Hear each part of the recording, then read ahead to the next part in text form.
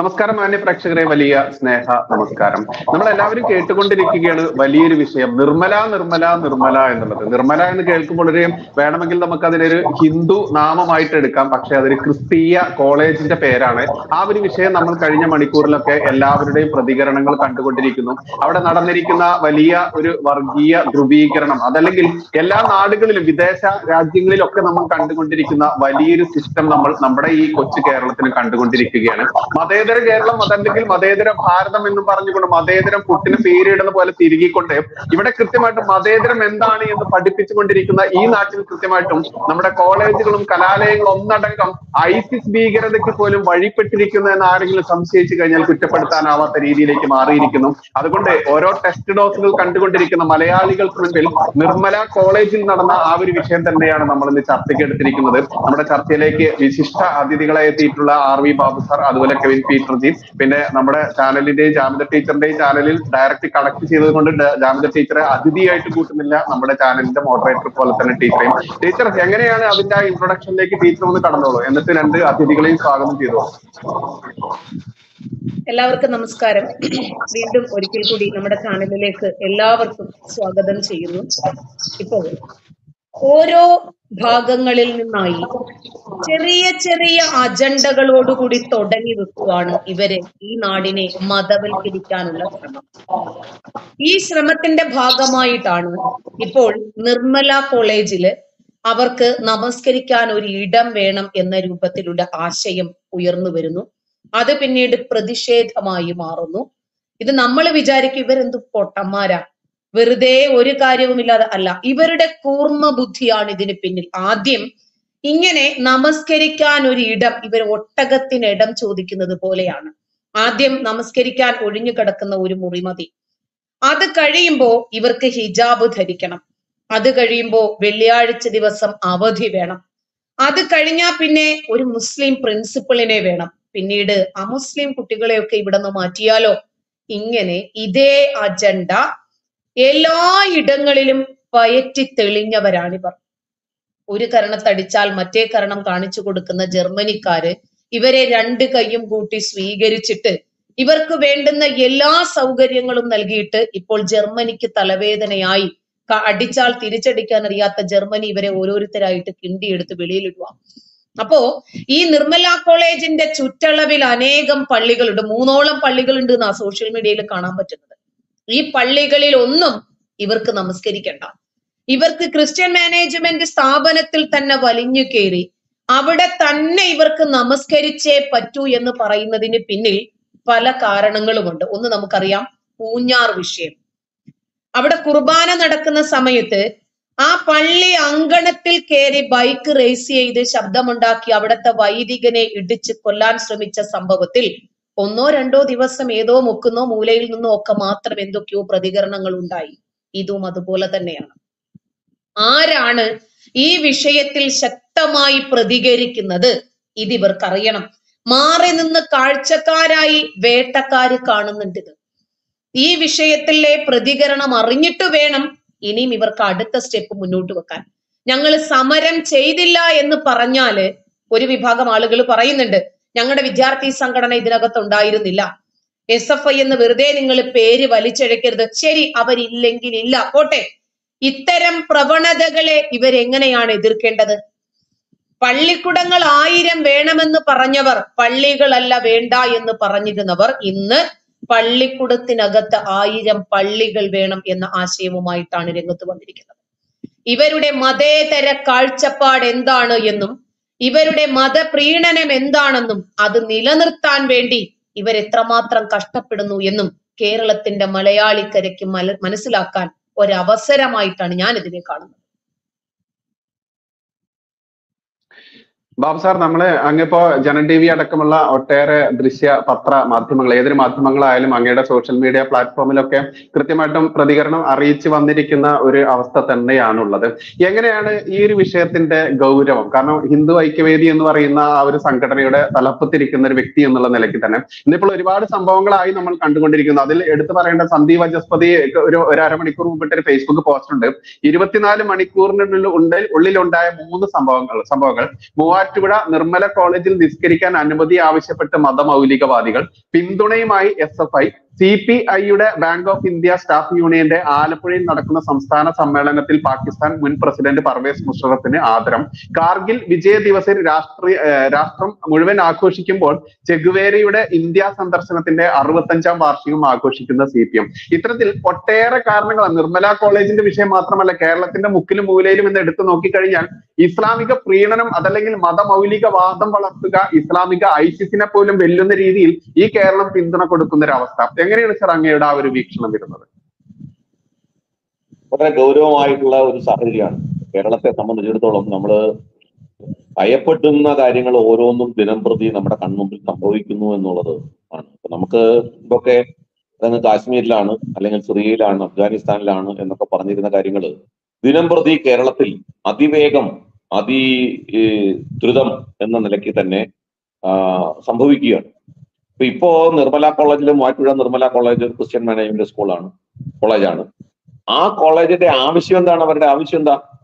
അവിടെ മുസ്ലിം വിദ്യാർത്ഥികൾക്ക് പ്രത്യേകം നിസ്കരിക്കാൻ മുസ്ലിം വിദ്യാർത്ഥികൾക്ക് എന്നല്ല വിദ്യാർത്ഥിനികൾക്ക് എന്ന് കൂടി പറയും. പെൺകുട്ടികൾക്ക് നിസ്കരിക്കാൻ പ്രത്യേകം മുറി വേണമെന്നാണ്.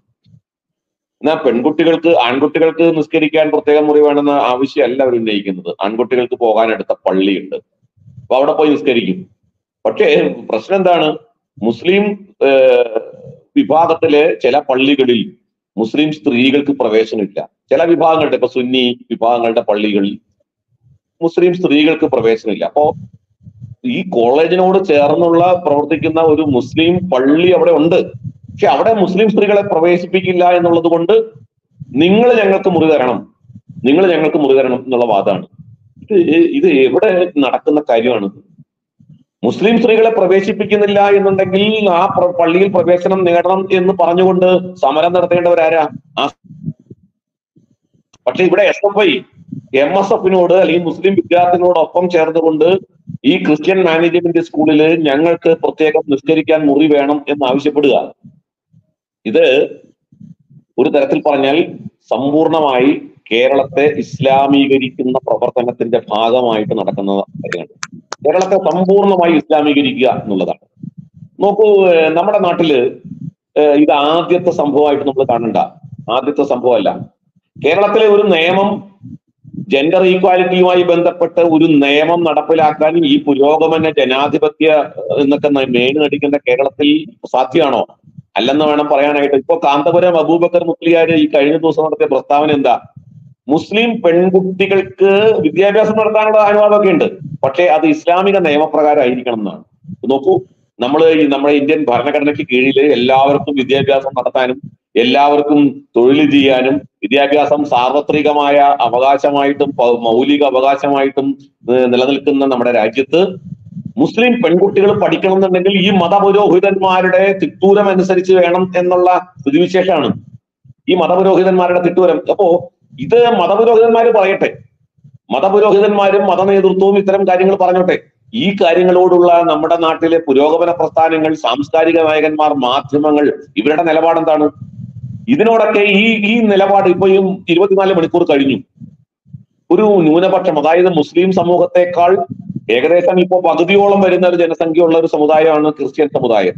മുസ്ലിം സമുദായത്തിന്റെ പകുതിയുള്ളൂ എന്നാണ് എന്റെ അഭിപ്രായം കേരളത്തിൽ ക്രിസ്ത്യാനികൾ അപ്പോ മുസ്ലിം സമുദായത്തിന്റെ പകുതി മാത്രം ജനസംഖ്യയുള്ള കേരളത്തിലെ ഒരു ന്യൂനപക്ഷം മുസ്ലിങ്ങളെക്കാൾ ന്യൂനപക്ഷ സമൂഹമായിട്ടുള്ള ക്രൈസ്തവ ന്യൂനപക്ഷ സ്ഥാപനത്തിൽ ഇത്തരത്തിലുള്ള ഒരു ധിക്കാരം ഒരു ധാർഷ്ട്യം സംഘടിത ഒരു ഒരു മുസ്ലിം മത വിഭാഗം ചെയ്യുമ്പോൾ അതിനോടുള്ള കമ്മ്യൂണിസ്റ്റ് പാർട്ടി നേതാക്കന്മാരുടെ പ്രതികരണം എന്തായിരുന്നു? ഈ ഇരുപത്തിനാല് മണിക്കൂർ കഴിഞ്ഞു. ഈ സമയം വരെ കേരളത്തിലെ വിദ്യാഭ്യാസ മന്ത്രി ഒരു പ്രതികരണം നടത്തിയോ? കേരളത്തിലെ മുഖ്യമന്ത്രി ഒരു പ്രതികരണം നടത്തിയോ? കേരള പ്രതിപക്ഷ നേതാവ് പ്രതികരണം നടത്തിയോ? എന്താ മിണ്ടാത്തത്? മിണ്ടില്ല. കാരണം അവിടെ നമുക്ക് വളരെ വ്യക്തമായിട്ട് അറിയാം. അത് മറുഭാഗത്ത് സംഘടിത വോട്ട് ബാങ്കുള്ള മുസ്ലിം മതവിഭാഗമാണ്. സംഘടിത വോട്ട് ബാങ്കുള്ള മുസ്ലിം മതവിഭാഗത്തിന്റെ പ്രശ്നങ്ങൾ അല്ലെങ്കിൽ അവർ ഉയർത്തുന്നതിനോട് കേരളത്തിലെ രാഷ്ട്രീയ പ്രസ്ഥാനങ്ങളുടെ നിലപാട് എന്താണ് എന്ന് ഇതിനകം നമുക്ക് എല്ലാവർക്കും അറിയാം.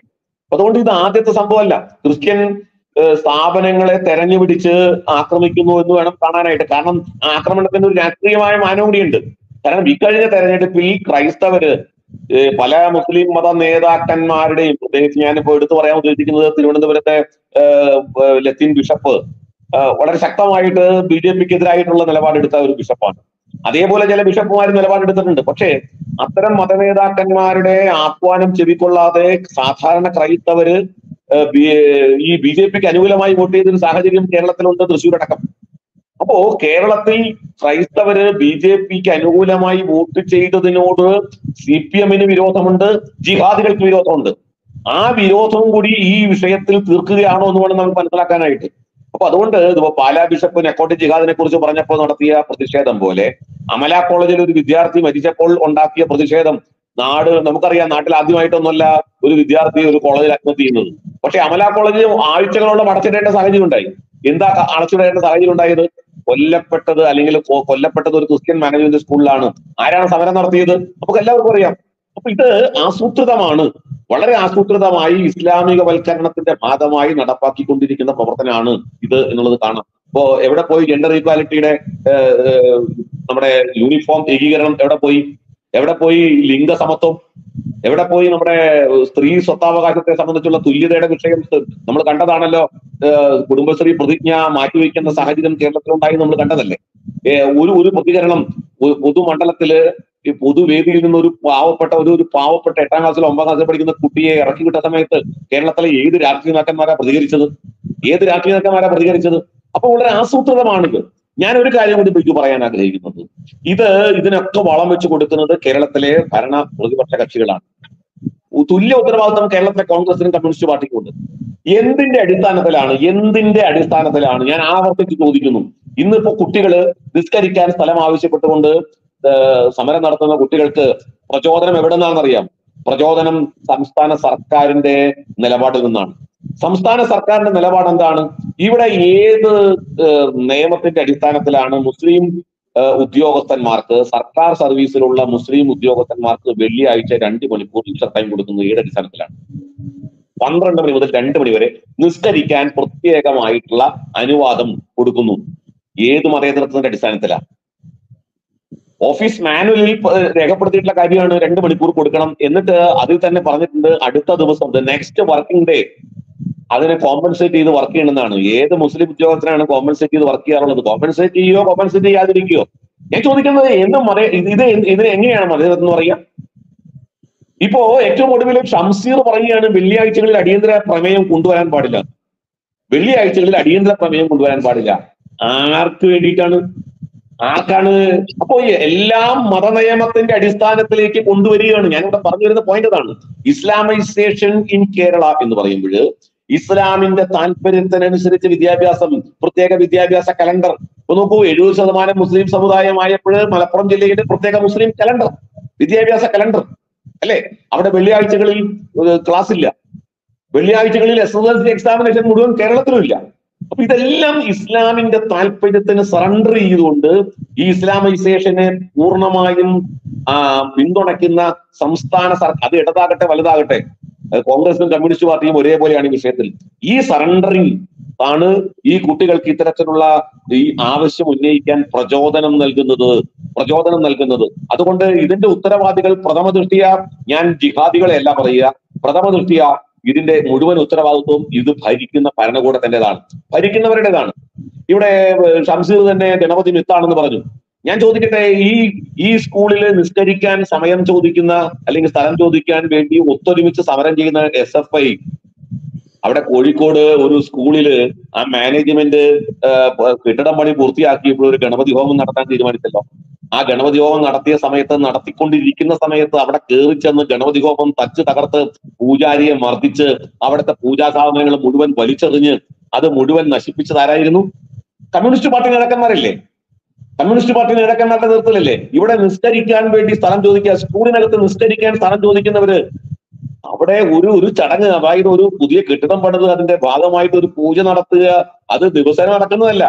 ഉദ്ഘാടനത്തിന് മുൻപായിട്ട് അയാളുടെ വിശ്വാസം അനുസരിച്ച് ഒരു മാനേജ്മെന്റ് സ്കൂളിൽ അതിന്റെ ഉടമസ്ഥൻ ഒരു പൂജ നടത്തിയപ്പോൾ ഉണ്ടായ അനുഭവമാണ്. ഈ ഇരട്ടത്താപ്പ് ഈ ഇരട്ടത്താപ്പ്. നമ്മൾ ഈ ഇന്ന് നിൽക്കുന്നത് എന്ന ഇന്നലെ ഒരു പൂജാരിയെ ഒരു പോലീസ് വിലങ്ങണിയിച്ച് ക്ഷേത്രത്തിൽ നിന്ന് അറസ്റ്റ് ചെയ്ത ദിവസത്തിന്റെ പിറ്റേ ദിവസം നിൽക്കുന്നത് നമ്മൾ. ഒരു പൂജാരിയെ വിലങ്ങണിയിച്ച് കൊണ്ടുപോവുകയാണ്. എന്നിട്ട് അയാളെ അറസ്റ്റ് ചെയ്തോ? അറസ്റ്റ് ചെയ്തില്ല. മൂന്ന് മണിക്കൂർ എടുത്തിട്ട് അയാളെ പോലീസ് ജീപ്പിൽ തിരികെ വീട്ടിൽ കൊണ്ടുപോയി മറ്റേ കുണമാക്കി. എന്തിനാണ് വിലങ്ങണിയിച്ച് കൊണ്ടുപോയത്? അപ്പോ ഹിന്ദു ക്ഷേത്രങ്ങളിൽ ഹിന്ദു പൂജാരിമാരെ ക്ഷേത്രത്തിന്റെ ഉള്ളിൽ കയറിയിട്ടാണ് എന്നുള്ളത് കൂടെ പ്രസ് ചെയ്ത് പറയേണ്ടതുണ്ട്. ക്ഷേത്രത്തിനകത്ത് കയറിയിട്ട് ക്ഷേത്രത്തിനകത്ത് കയറിയിട്ടോ അല്ലാതെയോ ആകട്ടെ അത് അതൊരു ഒരു വലിയ വിഷയം. ക്ഷേത്രത്തിനകത്തോ അല്ലാതെയോ ആകട്ടെ ഇയാൾ കുറ്റം തെളിയിക്കപ്പെട്ട് അയാൾ കുറ്റവാളിയാണെന്ന് കണ്ട് അയാളെ അറസ്റ്റ് രേഖപ്പെടുത്തിയതിന് മാത്രമേ അയാൾക്ക് അയാളെ വിലങ്ങണിയിക്കേണ്ടതുള്ളൂ എന്തിന്റെ അടിസ്ഥാനത്തിലാണ് അയാളെ വിലങ്ങണിച്ചു കൊണ്ടുപോയത്? എന്തിന്റെ അടിസ്ഥാനത്തിലാണ് അയാൾ വെറുതെ വിട്ടത് ചോദ്യം ചെയ്ത്? അപ്പൊ ഇത് ഇത് ഹിന്ദു സമൂഹത്തിനകത്തെ ഇത്തരം ഇപ്പൊ നമുക്കറിയാം സന്യാസിമാർക്ക് നേരെ നടന്നത് ഹിന്ദു ആധ്യാത്മിക ആചാര്യന്മാർക്ക് നേരെ നടക്കുന്നത്. ഹിന്ദു വിശ്വാസങ്ങളോടുള്ള സമീപനം. എസ് എഫ് ഐ തന്നെയാണ് ഹിന്ദു വിശ്വാസങ്ങളെ അവഹേളിച്ചുകൊണ്ട് കേരളവർമ്മ കോളേജിൽ അടക്കം ചിത്രങ്ങൾ വരച്ചു വെച്ചത്. അപ്പൊ ഏകപക്ഷീയമാണിത്. ഈ ഏകപക്ഷീയത എന്ന് പറഞ്ഞാൽ സംഘടിത ജിഹാദി. ശരിക്കും പറഞ്ഞാൽ കമ്മ്യൂണിസ്റ്റ് പാർട്ടിയെ അടക്കമുള്ള പ്രസ്ഥാനങ്ങളെ ഇവിടെ ജിഹാദികൾ ഹൈജാക്ക് ചെയ്തിരിക്കുന്നു. ആ അതിന്റെ പരിണത ഫലമാണ് ഇപ്പൊ ഈ കാണുന്നത് എന്നാണ് പ്രാഥമികമായി ഈ വിഷയത്തെ വിലയിരുത്തിക്കൊണ്ട് എനിക്ക് പറയാനുള്ളത്.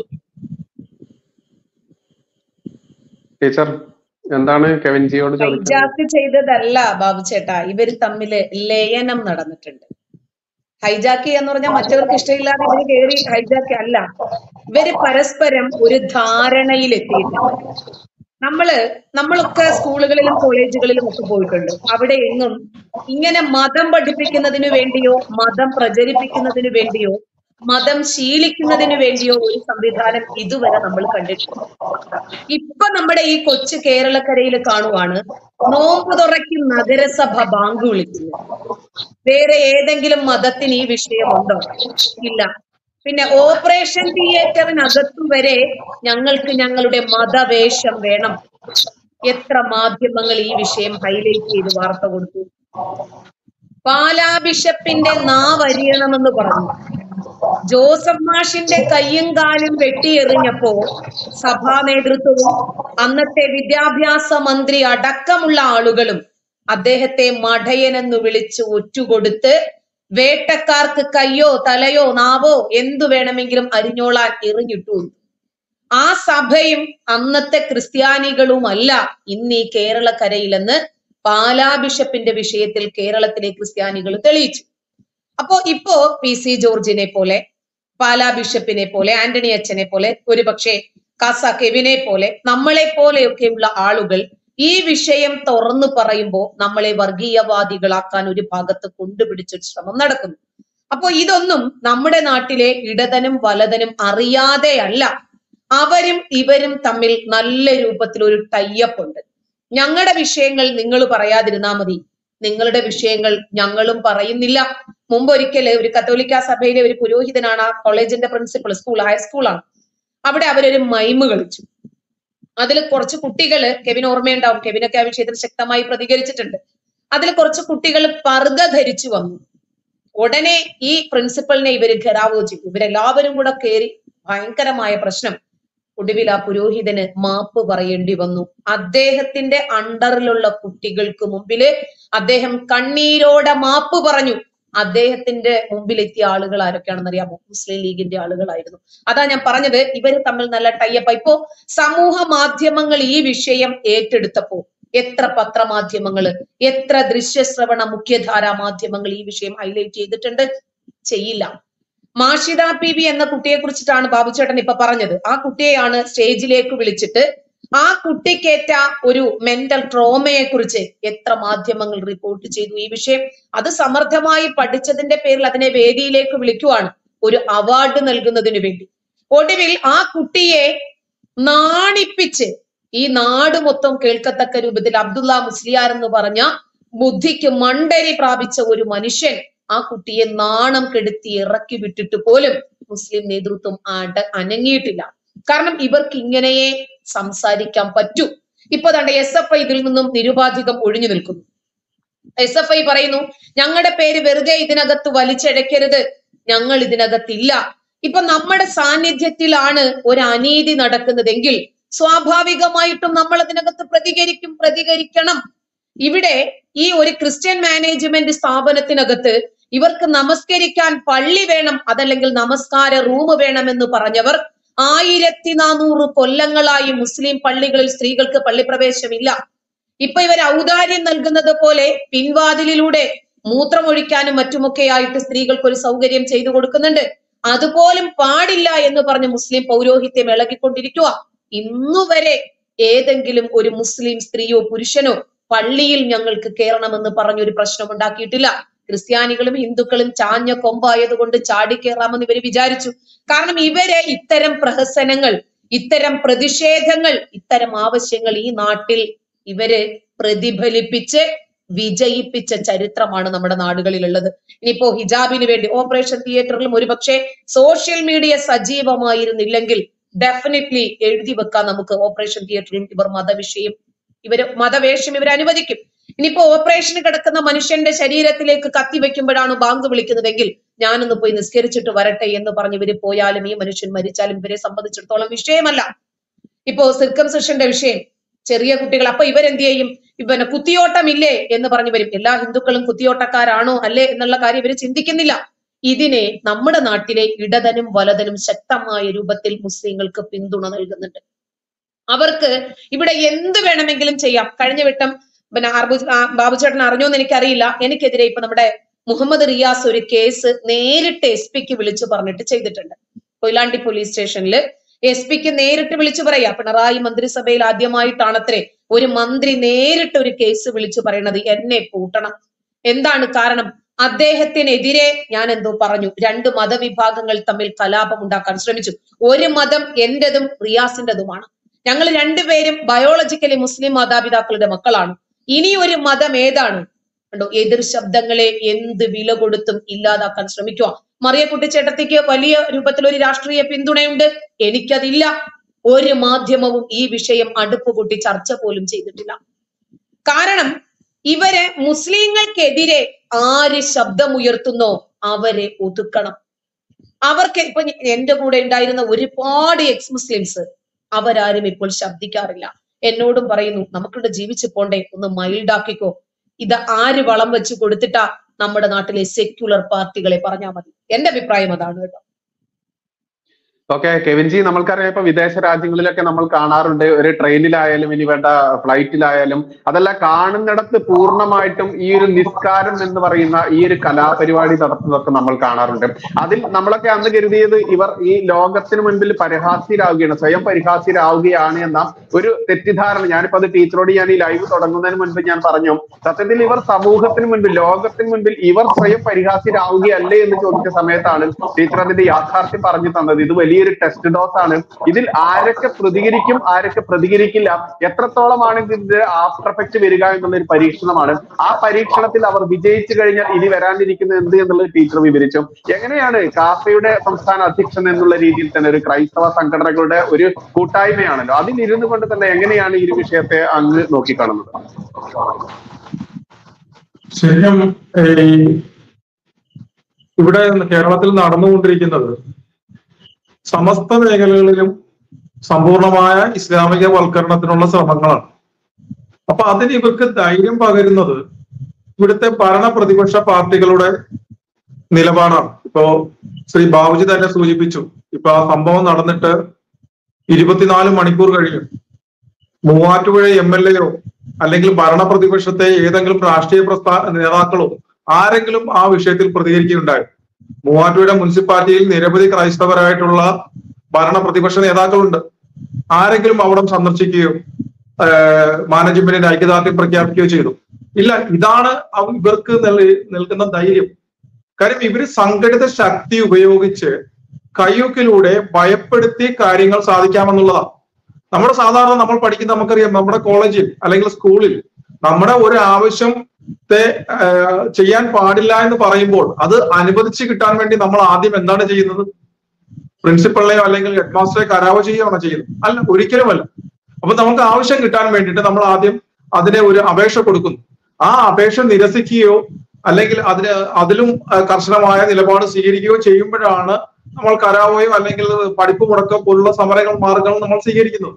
ഇതൊക്കെയാണ് നമ്മൾ ഇത്രയും കാലം കണ്ടുവന്നിരുന്നത്. ഇത് ഇവിടെ എന്താണ് സംഭവിച്ചിരിക്കുന്നത്? സ്കൂൾ ആ കോളേജിലെ ബാത്റൂമിനോട് ചേർന്നുള്ള റെസ്റ്റ് റൂം ആ റെസ്റ്റ് റൂം എന്ന് പറയുന്നത് എല്ലാ വിവാഹത്തിലെ പെൺകുട്ടികൾക്കും ഉപയോഗിക്കാൻ വേണ്ടിയിട്ടുള്ളതാണ്. അപ്പൊ അവിടെ ഒരു കൂട്ടം വിദ്യാർത്ഥിനികൾ മുസ്ലിം വിദ്യാർത്ഥിനികൾ നിസ്കരിക്കുമ്പോൾ എന്താ സംഭവിക്കുന്നത്? അവരുടെ നിസ്കാരത്തിന് ഭംഗം വരാതിരിക്കാൻ മറ്റു കുട്ടികൾക്ക് അവിടേക്ക് കടക്കാൻ കഴിയാത്ത സാഹചര്യം ഉണ്ടാകും. അപ്പൊ ഇത് പാടില്ല എന്ന് അവിടുത്തെ പ്രിൻസിപ്പൾ പറയുമ്പോൾ ഇവർ അതിനു വേണ്ടിയിട്ട് അദ്ദേഹത്തെ പ്രൈവറ്റ് ആയിട്ട് കണ്ട് അപേക്ഷ കൊടുക്കുകയോ മറ്റു കാര്യങ്ങളോ ആണ് ചെയ്യേണ്ടിയിരുന്നത്. അതിനു പകരം തങ്ങളുടെ കൂട്ടത്തിലുള്ള തങ്ങളുടെ സമുദായത്തിലുള്ള മുസ്ലിം യുവാക്കളെ വിവരം അറിയിക്കുകയും അവരെ ഉടൻ തന്നെ ഇവരെയും കൂട്ടിക്കൊണ്ട് സംഘടിതമായി മറ്റ് S F I K S U പോലുള്ള വിദ്യാർത്ഥി സംഘടനകളെ ഒപ്പം കൂട്ടിക്കൊണ്ട് അവർ പ്രിൻസിപ്പളിനെ ആഹാരം കഴിക്കാൻ പോലും സമ്മതിക്കാതെ കരാമ ചെയ്യുകയാണ് ചെയ്തത്. ഒന്ന് ആലോചിച്ച് നോക്കൂ. ഇപ്പൊ ഇവിടെ സ്വകാര്യ മാനേജ്മെന്റ് സ്കൂളിൽ വ്യക്തിഗത വ്യക്തിഗത മാനേജ്മെന്റ് ആണ്. ആ അത്തരം സ്കൂളിൽ ഒരു കെട്ടിടത്തിൽ നമ്മളെല്ലാവരും ക്രിസ്ത്യാനികളാണെങ്കിൽ വെഞ്ചരിപ്പ് നടത്താറുണ്ട്. അല്ലെങ്കിൽ ഹൈന്ദവരാണെന്നുണ്ടെങ്കിൽ ഇതുപോലുള്ള ഗണപതി ഹോമങ്ങൾ നടത്താറുണ്ട്. അത് ഒരേ ഒരു ദിവസത്തേക്ക്. ആ കെട്ടിടത്തെ സംബന്ധിച്ചിടത്തോളം അതിന്റെ ഒരു പുനർനിർമ്മാണം എന്നാണോ നടക്കുന്നത് വരെ ആ ഒരു കാലഘട്ടത്തിലേക്ക് ഒരേ ഒരു പ്രാവശ്യത്തേക്ക് മാത്രം നടത്തുന്ന ഒരു ചടങ്ങാണ് ഗണപതി ഹോമം. അല്ലെ? അപ്പം അത്തരം സ്ഥലത്തേക്ക് മാർച്ച് നടത്തിയവരാണ് ഈ എസ് എഫ് ഐക്കാർ. അല്ലെ? അവിടെ പോയി അതിനെ അലങ്കോലപ്പെടുത്തി അതിന്റെ പൂജാരിയെ മർദ്ദിക്കുകയൊക്കെ ചെയ്ത ആളുകളാണ് ഈ എസ് എഫ് ഐയും ഡിവൈഎഫ്ഐ ഒക്കെ. അല്ലെ? ഇതേ ആളുകളാണ് ഇവിടെ ഇപ്പോൾ ഈ നിസ്കാര മുറിക്ക് വേണ്ടിയിട്ട് ഈ ഇസ്ലാമിസ്റ്റുകളെ സപ്പോർട്ട് ചെയ്യുന്ന നിലപാടെടുത്തിരിക്കുന്നത്. ഇപ്പോൾ ഇവർ ഒരു പ്രസ്താവനയുമായി രംഗത്ത് വന്നിട്ടുണ്ട്. ഞങ്ങൾക്ക് അതിൽ പങ്കൊന്നുമില്ല. ഞങ്ങളുടെ പേര് ആരും ദുർവിനിയോഗം ചെയ്യരുത്. ഞങ്ങളുടെ നിലപാടല്ല. അതല്ല. അങ്ങനെയാണെങ്കിൽ എന്തുകൊണ്ടാണ് നിങ്ങൾ പരസ്യമായിട്ട് ഇതിനൊപ്പം ഒരു പ്രസ്താവന നടത്താത്തത്? ഇവിടുത്തെ മുസ്ലിം പെൺകുട്ടികൾ ഒരു സ്ഥാപനത്തിൽ നിസ്കാരമുറി ആവശ്യപ്പെട്ടിരിക്കുന്നത് ശരിയല്ല. ഞങ്ങൾ മാനേജ്മെന്റിന്റെ മതതരത്വ നിലപാടിനാണ് പിന്തുണ നൽകുന്നത്. എന്തുകൊണ്ടാണ് എസ് എഫ് ഐ അത്? അത് അത്തരത്തിലൊരു പ്രസ്താവന അതിനൊപ്പം പുറപ്പെടുവിക്കാതിരുന്ന രണ്ടുപേരും അതിനെക്കുറിച്ച് എഴുതാതിരുന്ന എന്താണ്? എഴുതില്ല ആ ധൈര്യത്തിലാണ് പ്രിൻസിപ്പളിനെ കരാവ് ചെയ്യുകയും ഈ ഒരു ആവശ്യം ഉന്നയിക്കുകയും ചെയ്തിരിക്കുന്നത്. ഇത് ഇവർ വളരെ ഘട്ടം ഘട്ടമായിട്ട് ആ ഭയപ്പെടുത്തലിലൂടെ കാര്യം നേടിയെടുക്കാമെന്നുള്ളതാണ് ഇവർ കരുതുന്നത്. കാര്യം ഇതേ കോളേജിൽ തന്നെയാണ് ജോസഫ് മാഷ് പഠിപ്പിച്ചിരുന്നത്. ആ അടുത്ത കോളേജിലേക്ക് ന്യൂമാൻസ് കോളേജിലേക്ക് പോയപ്പോഴാണ് ജോസഫ് മാഷിന്റെ പ്രശ്നമുണ്ടായപ്പോൾ അവിടുത്തെ പ്രിൻസിപ്പളിന്റെ മുറിയിൽ ചെന്ന് മതപണ്ഡിതർ ഉൾപ്പെടെയുള്ള ഉസ്താദുമാർ ഉൾപ്പെടെയുള്ളവർ കരാവ് ചെയ്ത് അദ്ദേഹം അവരെ ഭീഷണിപ്പെടുത്തി സൈലന്റ് ആക്കിയത്. അപ്പൊ അതേ രീതിയിൽ കാര്യങ്ങൾ നേടിയെടുക്കാമെന്നുള്ളതാണ് ഇവർ കരുതുന്നത്. അപ്പൊ ആ ഒരു കാലഘട്ടം കഴിഞ്ഞു പോയി എന്നുള്ളതും ഇതെല്ലാം പൊതുസമൂഹം നോക്കിക്കാണുന്നുള്ളതും ഈ ഇ- ഇസ്ലാമിസ്റ്റുകളും അവരെ സപ്പോർട്ട് ചെയ്യുന്ന ഭരണപ്രതിപക്ഷ പാർട്ടികളും മനസ്സിലാക്കുന്നില്ല. അതിന് തിരിച്ചടി ഇനി വരാൻ പോകുന്നതേ ഉള്ളൂ. ഇപ്പോൾ നടന്ന ലോക്സഭാ ഇലക്ഷൻ എന്ന് പറയുന്നത് ഒരു ടെസ്റ്റ് വൈറ്റ് ഹൗസ് മാത്രമാണ്. അതിന്റെ ഒരു മഞ്ഞുമലയുടെ ഒരു ഭാഗം മാത്രമേ ഇപ്പോൾ പുറത്ത് വന്നിട്ടുള്ളൂ. ബാക്കി പുറത്ത് വരാനിരിക്കുന്നതേ ഉള്ളൂ. അതിനുള്ള ഓരോ കാര്യങ്ങൾ ഇവർ തന്നെ ക- കണ്ടെത്തൽ ഇതെല്ലാം മനസ്സിലാക്കിക്കൊണ്ടൊരു സമൂഹം ഇവിടെ നിൽക്കുന്നുണ്ടെന്നുള്ള ഇവർ കണക്ക് കൂട്ടുന്നില്ല. എന്തെങ്കിലും ഒരു തക്കതായ ഒരു നീതിപൂർവമായ ഒരു ആവശ്യത്തിനാണെങ്കിൽ ഇവർക്ക് ഇതിനെ സപ്പോർട്ട് ചെയ്യാം. പക്ഷെ ഇവിടുത്തെ ഏറ്റവും വലിയൊരു പ്രശ്നം എന്ന് പറയുന്നത് ഇവിടെ പോപ്പുലർ ഫ്രണ്ടിന്റെ വിദ്യാർത്ഥി വിഭാഗമായ കാമ്പസ് ഫ്രണ്ടിന്റെ പ്രവർത്തകർ എങ്ങോട്ട് പോയി. അവരെവിടെയാണ് ഇപ്പോൾ ഉള്ളത്? യൂത്ത് ലീഗിലേക്ക് പോപ്പുലർ ഫ്രണ്ടിന്റെ പ്രവർത്തകർ അനാഥരായി പോയി. അവർക്ക് അവർ ചോദിക്കാനും പറയാനും ആരും ഇല്ലാതിരിക്കാനായിട്ട് കെ എം ഷാജിയെ പോലുള്ള ലീഗ് നേതാക്കൾ അവരെ യൂത്ത് ലീഗിലേക്ക് സ്വാഗതം ചെയ്തു. ഈ ക്യാമ്പസ് ഫ്രണ്ട് പ്രവർത്തകർ എവിടെ എവിടെയാണ് പോയത്? അവർ ചേക്കേറിയിരിക്കുന്നത് M S F K S U S F I പോലുള്ള പ്രസ്ഥാനങ്ങളിലേക്കാണ് ചേക്കേറിയിരിക്കുന്നത്. അതിന്റെയൊക്കെ നേതൃത്വ സ്ഥാനങ്ങളിൽ അവർ എത്തിക്കഴിഞ്ഞു അവരുടെ അജണ്ടകൾക്കനുസരിച്ചാണ് ഈ വിദ്യാർത്ഥി പ്രസ്ഥാനങ്ങൾ ഇപ്പോൾ ചലിക്കുന്നത്. കാരണം ഇത്രയും നാളും മതേതരത്വം മുന്നോട്ട് വെച്ചിരുന്ന നമുക്ക് മതേതരത്വം ഒന്നുമല്ല മതത്തിന്റെ പേരിൽ ഉണ്ടായ പാർട്ടിയാണ് മുസ്ലിം ലീഗ് എന്ന് നമുക്ക് വളരെ വ്യക്തമായിട്ട് അറിയാം എന്നാൽ തന്നെയും ഈ പോപ്പുലർ ഫ്രണ്ടിന്റെ നിരോധനത്തിന് മുൻപ് വരെ മിതപാദത്തിന്റെ സ്വരമായിരുന്നു മുസ്ലിം ലീഗിൽ നിന്ന് നമ്മൾ കേട്ടിരുന്നത് അല്ലെ? എന്നാൽ അതിനുശേഷം പോപ്പുലർ ഫ്രണ്ടിന്റെ നിരോധനത്തിന് ശേഷം പല സ്ഥലങ്ങളിലും തങ്ങൾമാർ ഉൾപ്പെടെ പല മീറ്റിങ്ങുകളിലും പങ്കെടുത്തുകൊണ്ടാണ് മെമ്പർഷിപ്പ് ക്യാമ്പയിൻ പോലെ ഇതിലേക്ക് യൂത്ത് ലീഗിലേക്കും മുസ്ലിം ലീഗിലേക്കും പോപ്പുലർ ഫ്രണ്ട് പ്രവർത്തകരെ മെമ്പർഷിപ്പ് കൊടുത്ത് സ്വീകരിച്ചത്. അത് ഒരു തരത്തിൽ അവർക്ക് കൊടുക്കുന്ന പ്രൊട്ടക്ഷൻ ആണ്. അവരിലേക്ക് അന്വേഷണം വരാതിരിക്കുവാനും അവർ മറ്റ് കേസുകളിൽ പെടാതിരിക്കുവാനും അവർ ഇപ്പോൾ മരം മാറി സമാധാനത്തിന്റെ വെള്ളരിപ്രാവുകളും മതേതരത്തിന്റെ വ്യക്താക്കളുമായി മാറി ഇനി അവരെ ദ്രോഹിക്കരുത് എന്ന് അവർക്ക് വേണ്ട സംരക്ഷണം കൊടുക്കുവാൻ വേണ്ടിയിട്ടാണ് അവരെ ലീഗിലേക്ക് എടുത്തത്. ആ ലീഗിലേക്ക് അവർ എത്തിപ്പെട്ട ഉടനെ അവരുടെ ശബ്ദത്തിൽ ഉണ്ടായ മാറ്റം നമ്മൾ ശ്രദ്ധിച്ചോ? ലീഗിന്റെ ജാഥയിലല്ലേ അമ്പലനടയിൽ കെട്ടിത്തൂക്കി പച്ച കിട്ട് കത്തിക്കുമെന്ന് മുദ്രാവാക്യം മുഴക്കിയത്? അല്ലെ? അപ്പം ആ ആ ലീഗിന്റെ ജാഥയിൽ ഉണ്ടായ ആ ശബ്ദത്തിന്റെ മാറ്റം എവിടെ നിന്നാണ്? ലീഗിലേക്ക് എത്തിയ പോപ്പുലർ ഫ്രണ്ട് പ്രവർത്തകരിൽ നിന്നാണ് ആ ധൈര്യം അവർക്കുണ്ടായിരിക്കുന്നത്. അതേ ധൈര്യം തന്നെയാണ് ഈ എം എസ് എഫ് ഇപ്പോൾ ഒരു ഒരു ഒരു നിസ്സാരമായ ഒരു ആവശ്യത്തിന് വേണ്ടി മറ്റു മാർഗങ്ങൾ ജനാധിപത്യപരമായ മറ്റു മാർഗങ്ങൾ ഉപയോഗിക്കുന്നതിന് മുൻപായി ഒരു പ്രിൻസിപ്പളിനെ മറ്റു സ്റ്റാഫുകൾ ആ റൂമിലേക്ക് കടക്കുന്നതും അദ്ദേഹത്തിന് ജലപാനം പോലും കഴിക്കുന്നതിൽ നിന്നും തടഞ്ഞുകൊണ്ട് അദ്ദേഹത്തെ അതിക്രൂരമായി കരാവ് ചെയ്തത് ആ ഒരു ധൈര്യത്തിലാണ്. അതിന്റെ അവർ അവർക്ക് കൊടുക്കുന്ന മറ്റൊരു ധൈര്യം എന്ന് പറയുന്നത് ഇവിടുത്തെ ഭരണ പ്രതിപക്ഷങ്ങളുടെ സപ്പോർട്ടാണ് നിശബ്ദമായ സപ്പോർട്ടാണ് ഇത്രയും വിഷയം ഉണ്ടായിട്ട് വെള്ളനാടനോ അല്ലെങ്കിൽ ഡീൻ കുര്യാക്കോസോ അവിടുത്തെ എം പി ആയിട്ടുള്ള ഡീൻ കുര്യാക്കോസോ അത് ഇടുക്കി ലോക്സഭാ മണ്ഡലത്തിൽ വരുന്ന ആണ് ഈ നിർമ്മല കോളേജ്. ഡീൻ കുര്യാക്കോസ് ഇവിടുന്ന് മൂവായിരത്തി ഇരുന്നൂറ് കിലോമീറ്റർ അകലെയുള്ള മണിപ്പൂരിലെ ക്രിസ്ത്യാനികളുടെ ക്ഷേമം അന്വേഷിക്കാനായിട്ട് അദ്ദേഹം മണിപ്പൂർ വരെ പോയതാ അല്ലെ? ആ വ്യക്തി ഈ ഇപ്പം മുപ്പത് മുപ്പത് മണിക്കൂറുകൾ കഴിയുന്നു. അവിടെ ഒന്ന് സന്ദർശിച്ച് അതിന്റെ വിവരങ്ങൾ ആരാ- ആരായുകയോ മാനേജ്മെന്റിന്റെ ഒരു പിന്തുണ പ്രഖ്യാപിക്കുകയോ ചെയ്തു. ഇതേ ഡീൻ കുര്യാക്കോസിന്റെ വീട്ടിൽ നിന്നും ഏകദേശം നൂറ്റി പതിനഞ്ച് കിലോമീറ്ററേ ഉള്ളൂ കാഞ്ഞിരപ്പള്ളി അമൽ ജ്യോതി കോളേജിലേക്ക്. അവിടെ ആ കോളേജ് അടിച്ചു തകർക്കുകയും പത്ത് ദിവസത്തോളം അവിടെ അധ്യാപനം നടക്കാതെ വരികയും ഈ മണിപ്പൂരിലേക്ക് പോയ ഡീൻ കുര്യാക്കോസോ അല്ലെങ്കിൽ കൊച്ചിയിൽ നിന്ന് ഡീൻ കുര്യാക്കോസിനോടൊപ്പം പോയ ഐ ബി ഇടനോ അവിടെ ഒന്ന് സന്ദർശിച്ചാലും സന്ദർശിച്ചില്ല. അപ്പോൾ ക്രിസ്ത്യാനികളെ ഈ പലതരം ഗിമ്മിക്കുകൾ കാണിച്ചുകൊണ്ട് പൊട്ടന്മാരാക്കിക്കൊണ്ട് ഒരു അടിമ വോട്ട് ബാങ്ക് ആക്കി നിലനിർത്തിക്കൊണ്ട് ഇവിടെ പൊളിറ്റിക്കൽ ഇസ്ലാമിനെ വളരുവാനുള്ള എല്ലാവിധ സാഹചര്യവുമാണ് ഇവർ ഒപ്പിച്ചു കൊടുക്കുന്നത്. അപ്പൊ എന്തായാലും ഇപ്പം മതേതര പൊതുസമൂഹത്തിന്റെ നിലപാട് എന്ന് പറയുന്നത് ആ ഒരു നിസ്കാര മുറി എന്നുള്ളത് ഒരു കാരണവശാലും അംഗീകരിച്ചു കൊടുക്കാൻ പാടില്ല എന്നുള്ളതാണ്. അത് അമൽ നിർമ്മല കോളേജിൽ മാത്രമല്ല കേരളത്തിലെ ഒരു ഹൈന്ദവ ക്രൈസ്തവ വിദ്യാഭ്യാസ സ്ഥാപനത്തിലും നിസ്കരിക്കാനുള്ള അനുമതി നിസ്കരിക്കാനുള്ള മുറി ഒരു കാരണവശാലും നൽകുവാൻ പാടില്ല. കാര്യം ഇത്തരക്കാരെ നിസ്കാര മുറി കൊണ്ട് കൊടുത്താൽ അതിൽ ഒതുങ്ങുന്നവരല്ല. ഇപ്പോൾ നിസ്കാര മുറി അനുവദിച്ചു കൊടുത്താൽ ഇപ്പോൾ അവിടെ യൂണിഫോം ഉണ്ട്. നാളെ ആ പെൺകുട്ടികൾ ഹിജാബ് ധരിച്ചുകൊണ്ട് വരും. അത് അനുവദിച്ചു കൊടുക്കേണ്ടതായിട്ട് വരും. അത് കഴിയുമ്പോൾ അവർ ക്ലാസ് റൂമിൽ അവർ ഒന്നിച്ചിട്ട് പ്രത്യേക ബ്ലോക്കായിട്ട് ഇരിക്കാൻ തുടങ്ങും. പിന്നെ അവിടെ ഹലാൽ ഭക്ഷണം കഴിക്കാൻ അവർക്ക് ബുദ്ധിമുട്ടുണ്ടാവും. അത് വിലക്കേണ്ടതായിട്ട് വരും.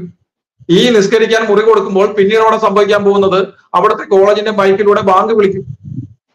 അപ്പൊ ഇതെല്ലാം അവിടെ സംഭവിക്കും. കാര്യം ഇവർ നിസ്കാരം മുറിയിൽ മാത്രം ഒതുങ്ങുന്ന ആൾക്കാരല്ല. അപ്പോൾ ഇവരുടെ പ്രശ്നം നിസ്കാരമാണ് ഇവരുടെ വിശ്വാസമാണ് ഇവരുടെ പ്രശ്നമെങ്കിൽ ശബരിമലയിൽ സ്ത്രീകളെ കയറ്റാൻ വേണ്ടി നവോത്ഥാനം മുതൽ കിട്ടിയ ആൾക്കാരല്ലേ കൂടെ ഉള്ളത്? എന്തുകൊണ്ടാണ് ആ കോളേജിന് മുന്നിലുള്ള ആ മസ്ജിദിലേക്ക് ഇവർക്ക് മാർച്ച് നടത്താൻ സാധിക്കാത്തത് ഒരു പ്രത്യേക ബ്ലോക്ക് ആയിട്ട് പെൺകുട്ടികൾക്ക് നിസ്കരിക്കാനുള്ള സൗകര്യം അവിടെ ഉണ്ടാക്കി കൊടുത്താൽ പോരെ? പെൺകുട്ടികൾ അല്ലെങ്കിൽ സ്ത്രീകൾ അപ്പുറത്ത് നമസ്കരിക്കുന്നു പറയുമ്പോൾ ഇപ്പുറത്ത് പ്രാർത്ഥിച്ചുകൊണ്ടിരിക്കുന്നതിന് മനചാഞ്ചല്യം ഉണ്ടാകാൻ അത്രയ്ക്ക് ദുർബലരാണോ ഇവർ? അല്ലല്ലോ. ഇവിടെ ഭാരതത്തിലെ സ്ത്രീകൾ തന്നെ ബഹിരാകാശത്ത് പോയിട്ട് തിരിച്ചു വന്നിരിക്കുന്നു. അപ്പോഴും ഇവിടുത്തെ സ്ത്രീകൾക്ക് സമ്പൂർണ സ്വാതന്ത്ര്യം കൊടുക്കുന്നു എന്ന് പറയുന്ന ഇസ്ലാം മതത്തിലെ സ്ത്രീകൾക്ക് ഇപ്പോഴും പള്ളിയുടെ കോമ്പൗണ്ടിൽ പോലും കയറാനുള്ള അനുമതിയില്ല അപ്പോൾ സ്വന്തം കൂടെ പഠിക്കുന്ന സഹപാഠികൾക്ക് ആ പള്ളിയിൽ പോയി നിസ്കരിക്കാൻ സാധിക്കുമ്പോൾ ഈ പെൺകുട്ടികൾക്ക് സാധിക്കുന്നില്ല എങ്കിൽ ഇവർ സമരം നടത്തേണ്ടത് നിർമ്മല കോളേജ് പ്രിൻസിപ്പളിന്റെ ഓഫീസ് റൂമിന് മുന്നിലല്ല മറിച്ച് ആ മഹല്ല് കമ്മിറ്റിക്ക് മുന്നിലാണ് അപ്പൊ അതുകൊണ്ട് തന്നെ ഇത്തരം ആവശ്യങ്ങൾ ഒരു കാരണവശാലും അംഗീകരിച്ചിരിക്കാൻ കൊടുക്കാൻ പാടില്ല എന്നുള്ളതാണ് വ്യക്തിപരമായ ഈ സംഘടനാപരമായ ഞങ്ങളുടെ നിലപാട്. ബാബു സാർ നമ്മൾക്കറിയാം ഇതിപ്പോൾ പ്രതികരിക്കുന്ന പ്രതിഷേധിക്കുന്ന ആളുകളെ. അതിന് മുസ്ലിം നാമധാരിയാണെങ്കിൽ മുസംഗി എന്ന പേരിൽ ചാർത്തപ്പെടുക. അപ്പൊ ജാമിത ടീച്ചറൊക്കെ മുസംഗിയിൽപ്പെട്ടതാണ്. ഇനി കെവിൻ പീറ്റർസ് അദ്ദേഹത്തിന്റെ പോലെയുള്ള ക്രിസ്ത്യാനികളാണെങ്കിൽ ക്രിസംഗി. ഇനി ഹിന്ദുസ് ആണെങ്കിൽ അങ്ങേ പോലെ എന്നെ പോലെയുള്ള ആളുകളാണെങ്കിൽ ചാണക സംഖികൾ ഈ മൂന്ന് രീതിയിലേക്ക് അങ്ങോട്ട് നാമകരണം ചെയ്തുകൊണ്ട് ഇത് സംഖികളുടെ മാത്രം പ്രശ്നമാണ് എന്ന രീതിയിലേക്ക് മാറ്റുക. അതിന് മതേതരത്വം എന്നുള്ള ആ ഒരു ലേബൽ നേരത്തെ ഞാൻ പറഞ്ഞ പോലെ തന്നെ പുട്ടിന് പീരീഡ് പോലെ ഇടയ്ക്കിടയ്ക്ക് ഇങ്ങനെ ചേർക്കുക. ഇത്തരത്തിൽ ചെയ്തുകൊണ്ട് ഈ പ്രതിഷേധത്തെ ഈ പ്രതികരണത്തെയൊക്കെ ലളിതവൽക്കരിക്കുന്ന ഈ സിസ്റ്റം എത്രത്തോളമാണ് അപകടകരമാവുക എന്നുള്ളത്. മറ്റൊരു കാര്യം കൂടി കൂട്ടിച്ചേർക്കാനുള്ളത് രണ്ട് ചോദ്യം ഒന്നിച്ച് ചേർക്കുകയാണ്. ഇപ്പോ നമുക്കറിയാം മൈക്രോ സൈറ്റുകൾ എന്ന രീതിയിൽ ഇസ്ലാമിന്റെ ചരിത്രം പഠിപ്പിക്കാൻ വേണ്ടി ഈ പറയുന്ന മുഹമ്മദ് റിയാദ് തന്നെ മുന്നിട്ടിറങ്ങിയിരിക്കുന്ന ആ ഒരു സംഭവം നമുക്കറിയാം. ഞാനടക്കമുള്ള നമ്മളെ അടക്കം എല്ലാവരും അടക്കമുള്ള നമ്മളെ കാണുന്ന മാന്യ പ്രേക്ഷകർ അടക്കമുള്ള ആളുകൾ അടയ്ക്കുന്ന നികുതി കാശ് എടുത്തുകൊണ്ട് ഇസ്ലാമിന്റെ ചരിത്രം പഠിപ്പിക്കുക. എന്ത് ചരിത്രമാണ് പഠിപ്പിക്കുക എന്ന് നമ്മൾക്ക് അറിയണമെന്നുണ്ടെങ്കിൽ ആയിരത്തി തൊള്ളായിരത്തി ഇരുപത്തി ഒന്നിലെ ആ ചരിത്രം മാത്രം ജസ്റ്റ് ഒന്ന് അറിഞ്ഞാൽ മാത്രം മതി. ഇനി ആയിരത്തി തൊള്ളായിരത്തി ഇരുപത്തി ഒന്നിനെ കുറിച്ച് പറഞ്ഞത് കൊണ്ട് ജസ്റ്റ് സൂചിപ്പിക്കുകയാണ് ഞാൻ. മലപ്പുറം ജില്ലയിൽ നിലമ്പൂർ സ്വദേശിയാണ് ഞാൻ. എന്റെ വീടിന്റെ അവിടെ നിന്ന് ഞാൻ ഇപ്പോൾ തൃശ്ശൂർ ആണെങ്കിൽ പോലും എന്റെ വീടിന്റെ അവിടെ നിന്ന് ഏകദേശം ആറ് കിലോമീറ്റർ അപ്പുറമാണ് ചോക്കാട്. അത് ശവക്കാട് എന്നായിരുന്നു പണ്ട്. ഈ ആയിരത്തി തൊള്ളായിരത്തി ഇരുപത്തി ഒന്നിൽ ഹിന്ദുക്കളെ വെട്ടിക്കൂട്ടിയ സ്ഥലമായിരുന്നു ശവക്കാട്. അത് ലോപിച്ച് പിന്നീട് ചോക്കാടായി മാറി. ഈ ചോക്കാട് വാരിയം കുന്നന്റെ സോറി വാരിയം കുന്നൻ ഈ ചങ്ങാതിയുടെ രണ്ടാമത്തെ സ്മാരകം വരുന്നത് മലപ്പുറത്തിന്റെ തിരുഹൃദയത്തിൽ ഒരു സ്മാരകമുണ്ട് എന്നുള്ളത് ബാബു സാറിനും അറിയാം. ഇത്തരത്തിൽ ഓരോ ഹിന്ദുവിന്റെയും ഓരോ ക്രിസ്ത്യാനിയുടെയും ഓരോ മുസ്ലിമിന്റെയും സമാസമത്തിലുള്ള വാങ്ങുന്ന ആ ഒരു നികുതി പണം എടുത്തുകൊണ്ട് ഇത്തരത്തിൽ ചെയ്യുക. അത്തരത്തിൽ എത്രത്തോളം ഭീകരമായിരിക്കും ഇനി വരാനിരിക്കുന്ന നാളുകൾ. ഇത് വെറും ഒരു മുസംഗിയിലോ ക്രിസംഗിയിലോ അതല്ലെങ്കിൽ ചാണക സംഖ്യ എന്ന് പറയുന്ന ഈ പേരുകളിൽ മാത്രം അടിച്ചമർത്തപ്പെടേണ്ട ഒന്നാണ്. ഇത്തരം ആരോപണങ്ങൾ ഒരു പത്ത് മുപ്പത് വർഷങ്ങൾക്ക് മുൻപ് കാശ്മീരിനെ കുറിച്ച് പറഞ്ഞിരുന്നത് കാശ്മീരിലെ സംഘ നേതൃത്വങ്ങൾക്കെതിരെ അല്ലെങ്കിൽ സംഘപരിവാർ സംഘടനകൾക്കെതിരെ ഉന്നയിക്കപ്പെട്ട ആരോപണമാണ്. ഇന്ന് കാശ്മീരിനെ സംബന്ധിച്ച് എന്താണ് അതിനുശേഷം നടന്നത് എന്നുള്ളതൊക്കെ നമ്മുടെ ചരിത്രത്തിന്റെ ഭാഗമാണ്. അന്ന് കാശ്മീരിൽ നടന്നതിനെ കുറിച്ച് പറഞ്ഞ സമയത്ത് ഇതേ ആരോപണം വർഗീയവാദം പറയുകയാണ് നിങ്ങൾ. ഈ ഇസ്ലാമോ ഫോബിയാണ് നിങ്ങൾക്ക്. കാശ്മീരിൽ അങ്ങനെ ഒരു പ്രശ്നമില്ല. സമാധാനത്തിന്റെ മതമാണ് ഇസ്ലാം. എന്നൊക്കെ പറഞ്ഞ് നടന്നിരുന്ന ആ കാശ്മീരിൽ പിന്നീട് നടന്നത് എന്താണ്? നട- നടന്ന വംശഹത്യ എന്താണ്? നടന്ന കാര്യങ്ങൾ എന്താണ്? എന്നുള്ളതൊക്കെ നമ്മുടെ ചരിത്രത്തിന്റെ ഭാഗമാണ്. ഇതേ കാര്യം തന്നെ ഇപ്പോ കേരളത്തിൽ നടമാടക്കു നടക്കുമ്പോൾ അത് ചൂണ്ടിക്കാണിക്കുന്നവരെ അന്ന് കാശ്മീരിലെ ആളുകൾക്കെതിരെ ഉന്നയിച്ച അതേ ആരോപണം വ്യത്യസ്ത രീതിയിലൂടെ ഉന്നയിക്കുന്നു. വസ്തുത എന്താണ് എന്ന് നമുക്ക് എല്ലാവർക്കും അറിയാം. ആ വസ്തുത സാമാന്യ ജനങ്ങൾക്ക് ബോധ്യപ്പെടുന്നുണ്ട് എന്നുള്ളതിന്റെ ഉദാഹരണമാണ് കമ്മ്യൂണിസ്റ്റ് പാർട്ടിയുടെ ബൂത്ത് തലങ്ങളിൽ പ്രവർത്തിക്കുന്ന പ്രവർത്തകർ വരെ ഇത്തവണ വോട്ട് മാറ്റി ചെയ്തു എന്ന സാഹചര്യം. കമ്മ്യൂണിസ്റ്റ് പാർട്ടി ഇപ്പൊ ഈ തെരഞ്ഞെടുപ്പിന് ശേഷം എന്താ കമ്മ്യൂണിസ്റ്റ് പാർട്ടി നോക്കുന്നത്? അന്വേഷിക്കുന്നത് ഞങ്ങളുടെ വോട്ട് എങ്ങോട്ട്? ബി ജെ പിക്ക് എങ്ങനെ തുറന്നു പോയി? തുറന്നു പോയി എന്നാണ്. തങ്ങളുടെ വോട്ട് ചോർന്ന് എന്നതിന് എന്ന യാഥാർത്ഥ്യം ഇപ്പം മുസ്ലിങ്ങൾ മാത്രമല്ലല്ലോ വോട്ട് മാറ്റി ചെയ്തത്. പാലസ്തീൻ വിഷയം ഉന്നയിച്ചുകൊണ്ട് അല്ലെങ്കിൽ ഹിജാബിന്റെ വിഷയത്തെ പിന്തുണച്ചുകൊണ്ട് ഒക്കെ മുസ്ലിം സമുദായത്തെ പ്രീണിപ്പിച്ച് ശരീരത്തിന് അനുകൂലമായി നിലകൊണ്ടുകൊണ്ട് മുത്തലാഖിനെ പിന്തുണച്ചുകൊണ്ടൊക്കെ കമ്മ്യൂണിസ്റ്റ് പാർട്ടി നടത്തിയ വളരെ വലിയ പ്രചണ്ഡമായ പ്രചരണം കൊണ്ട് മുസ്ലിം സമുദായം മുഴുവൻ കൂടെ നിൽക്കും എന്ന് വിചാരിച്ചു പക്ഷെ ആ മുസ്ലിം സമുദായം കൂടെ നിന്നില്ല എന്ന് മാത്രമല്ല കൂടെ ഉണ്ടായിരുന്ന ഹിന്ദുക്കൾ തിരിഞ്ഞു കടിച്ചില്ലേ? ഹിന്ദുക്കൾ തിരിഞ്ഞു കടിച്ചു എന്നുള്ളതിന്റെ ഉദാഹരണമാണ് അത് തൃശ്ശൂര് ആലത്തൂര് ആറ്റിങ്ങൽ ആലപ്പുഴ തുടങ്ങിയിട്ടുള്ള മണ്ഡലങ്ങളിൽ മുഴുവൻ ആരാണ് കമ്മ്യൂണിസ്റ്റ് പാർട്ടിക്കെതിരെ വോട്ട് ചെയ്യുന്നത്? മുസ്ലിങ്ങളും അല്ല. അവിടെയൊക്കെ കമ്മ്യൂണിസ്റ്റ് പാർട്ടിക്കെതിരെ വോട്ട് ചെയ്യുന്നത് കമ്മ്യൂണിസ്റ്റ് പാർട്ടി അനുഭാവികൾ തന്നെയാണ്. അപ്പൊ അതെങ്ങനെ വോട്ട് നഷ്ടപ്പെട്ടു? അതെല്ലാം ഈ തരം പ്രീണന രാഷ്ട്രീയം അത് ജനങ്ങൾക്ക് ബോധ്യപ്പെടുന്നുണ്ട് എന്നുള്ളതിന്റെ വ്യക്തമായ ഒരു ഉദാഹരണമാണ് കഴിഞ്ഞ പൊതു തെരഞ്ഞെടുപ്പ്. യാതൊരു സംശയം വേണ്ട കാര്യത്തിൽ. യാതൊരു സംശയം വേണ്ട. അതുകൊണ്ട് ഇത്തരം നടപടിക്രമങ്ങളിലൂടെ ഒക്കെ ജനങ്ങളുടെ ഉള്ളിൽ നമ്മളെ മുസംഗി എന്നോ കൃസംഗി എന്നോ ചാണക എന്നോ എന്ത് പേരിട്ട് വിളിച്ചാലും ശരി ജനങ്ങൾ ഇതെല്ലാം കണ്ടുകൊണ്ടിരിക്കുന്നു ജനങ്ങൾ തീർത്തും അവരെയൊക്കെ മണ്ടന്മാരാക്കാം. എക്കാലത്തെയും അവരെ മണ്ടന്മാരാക്കാം എന്ന് ആരെങ്കിലും ധരിക്കുന്നുണ്ടെങ്കിൽ അവർക്ക് തെറ്റുപറ്റി എന്നുള്ളതിൽ യാതൊരു സംശയം വേണ്ട. അവർക്ക് തെറ്റുപറ്റി. ഇവിടെ നമുക്കറിയാം ഇപ്പൊ ഇവിടെ ജാമ്യത ടീച്ചർ കുറെ ഉദാഹരണങ്ങൾ പറഞ്ഞു. ആ ഇപ്പോ ഒരു ഒരു മുപ്പത് ശതമാനത്തിലേറെ ജനസംഖ്യ മുസ്ലിം ജനസംഖ്യ ആയാൽ ആ നാട്ടിൽ എന്തൊക്കെ സംഭവിക്കും എന്നുള്ളതിന്റെ ഉദാഹരണമാണ് ഇപ്പൊ കേരളത്തിൽ നടന്നുകൊണ്ടിരിക്കുന്നത്. ലോകത്ത് മുഴുവൻ അത്തരം ഉദാഹരണങ്ങൾ നടക്കുന്നുണ്ട്.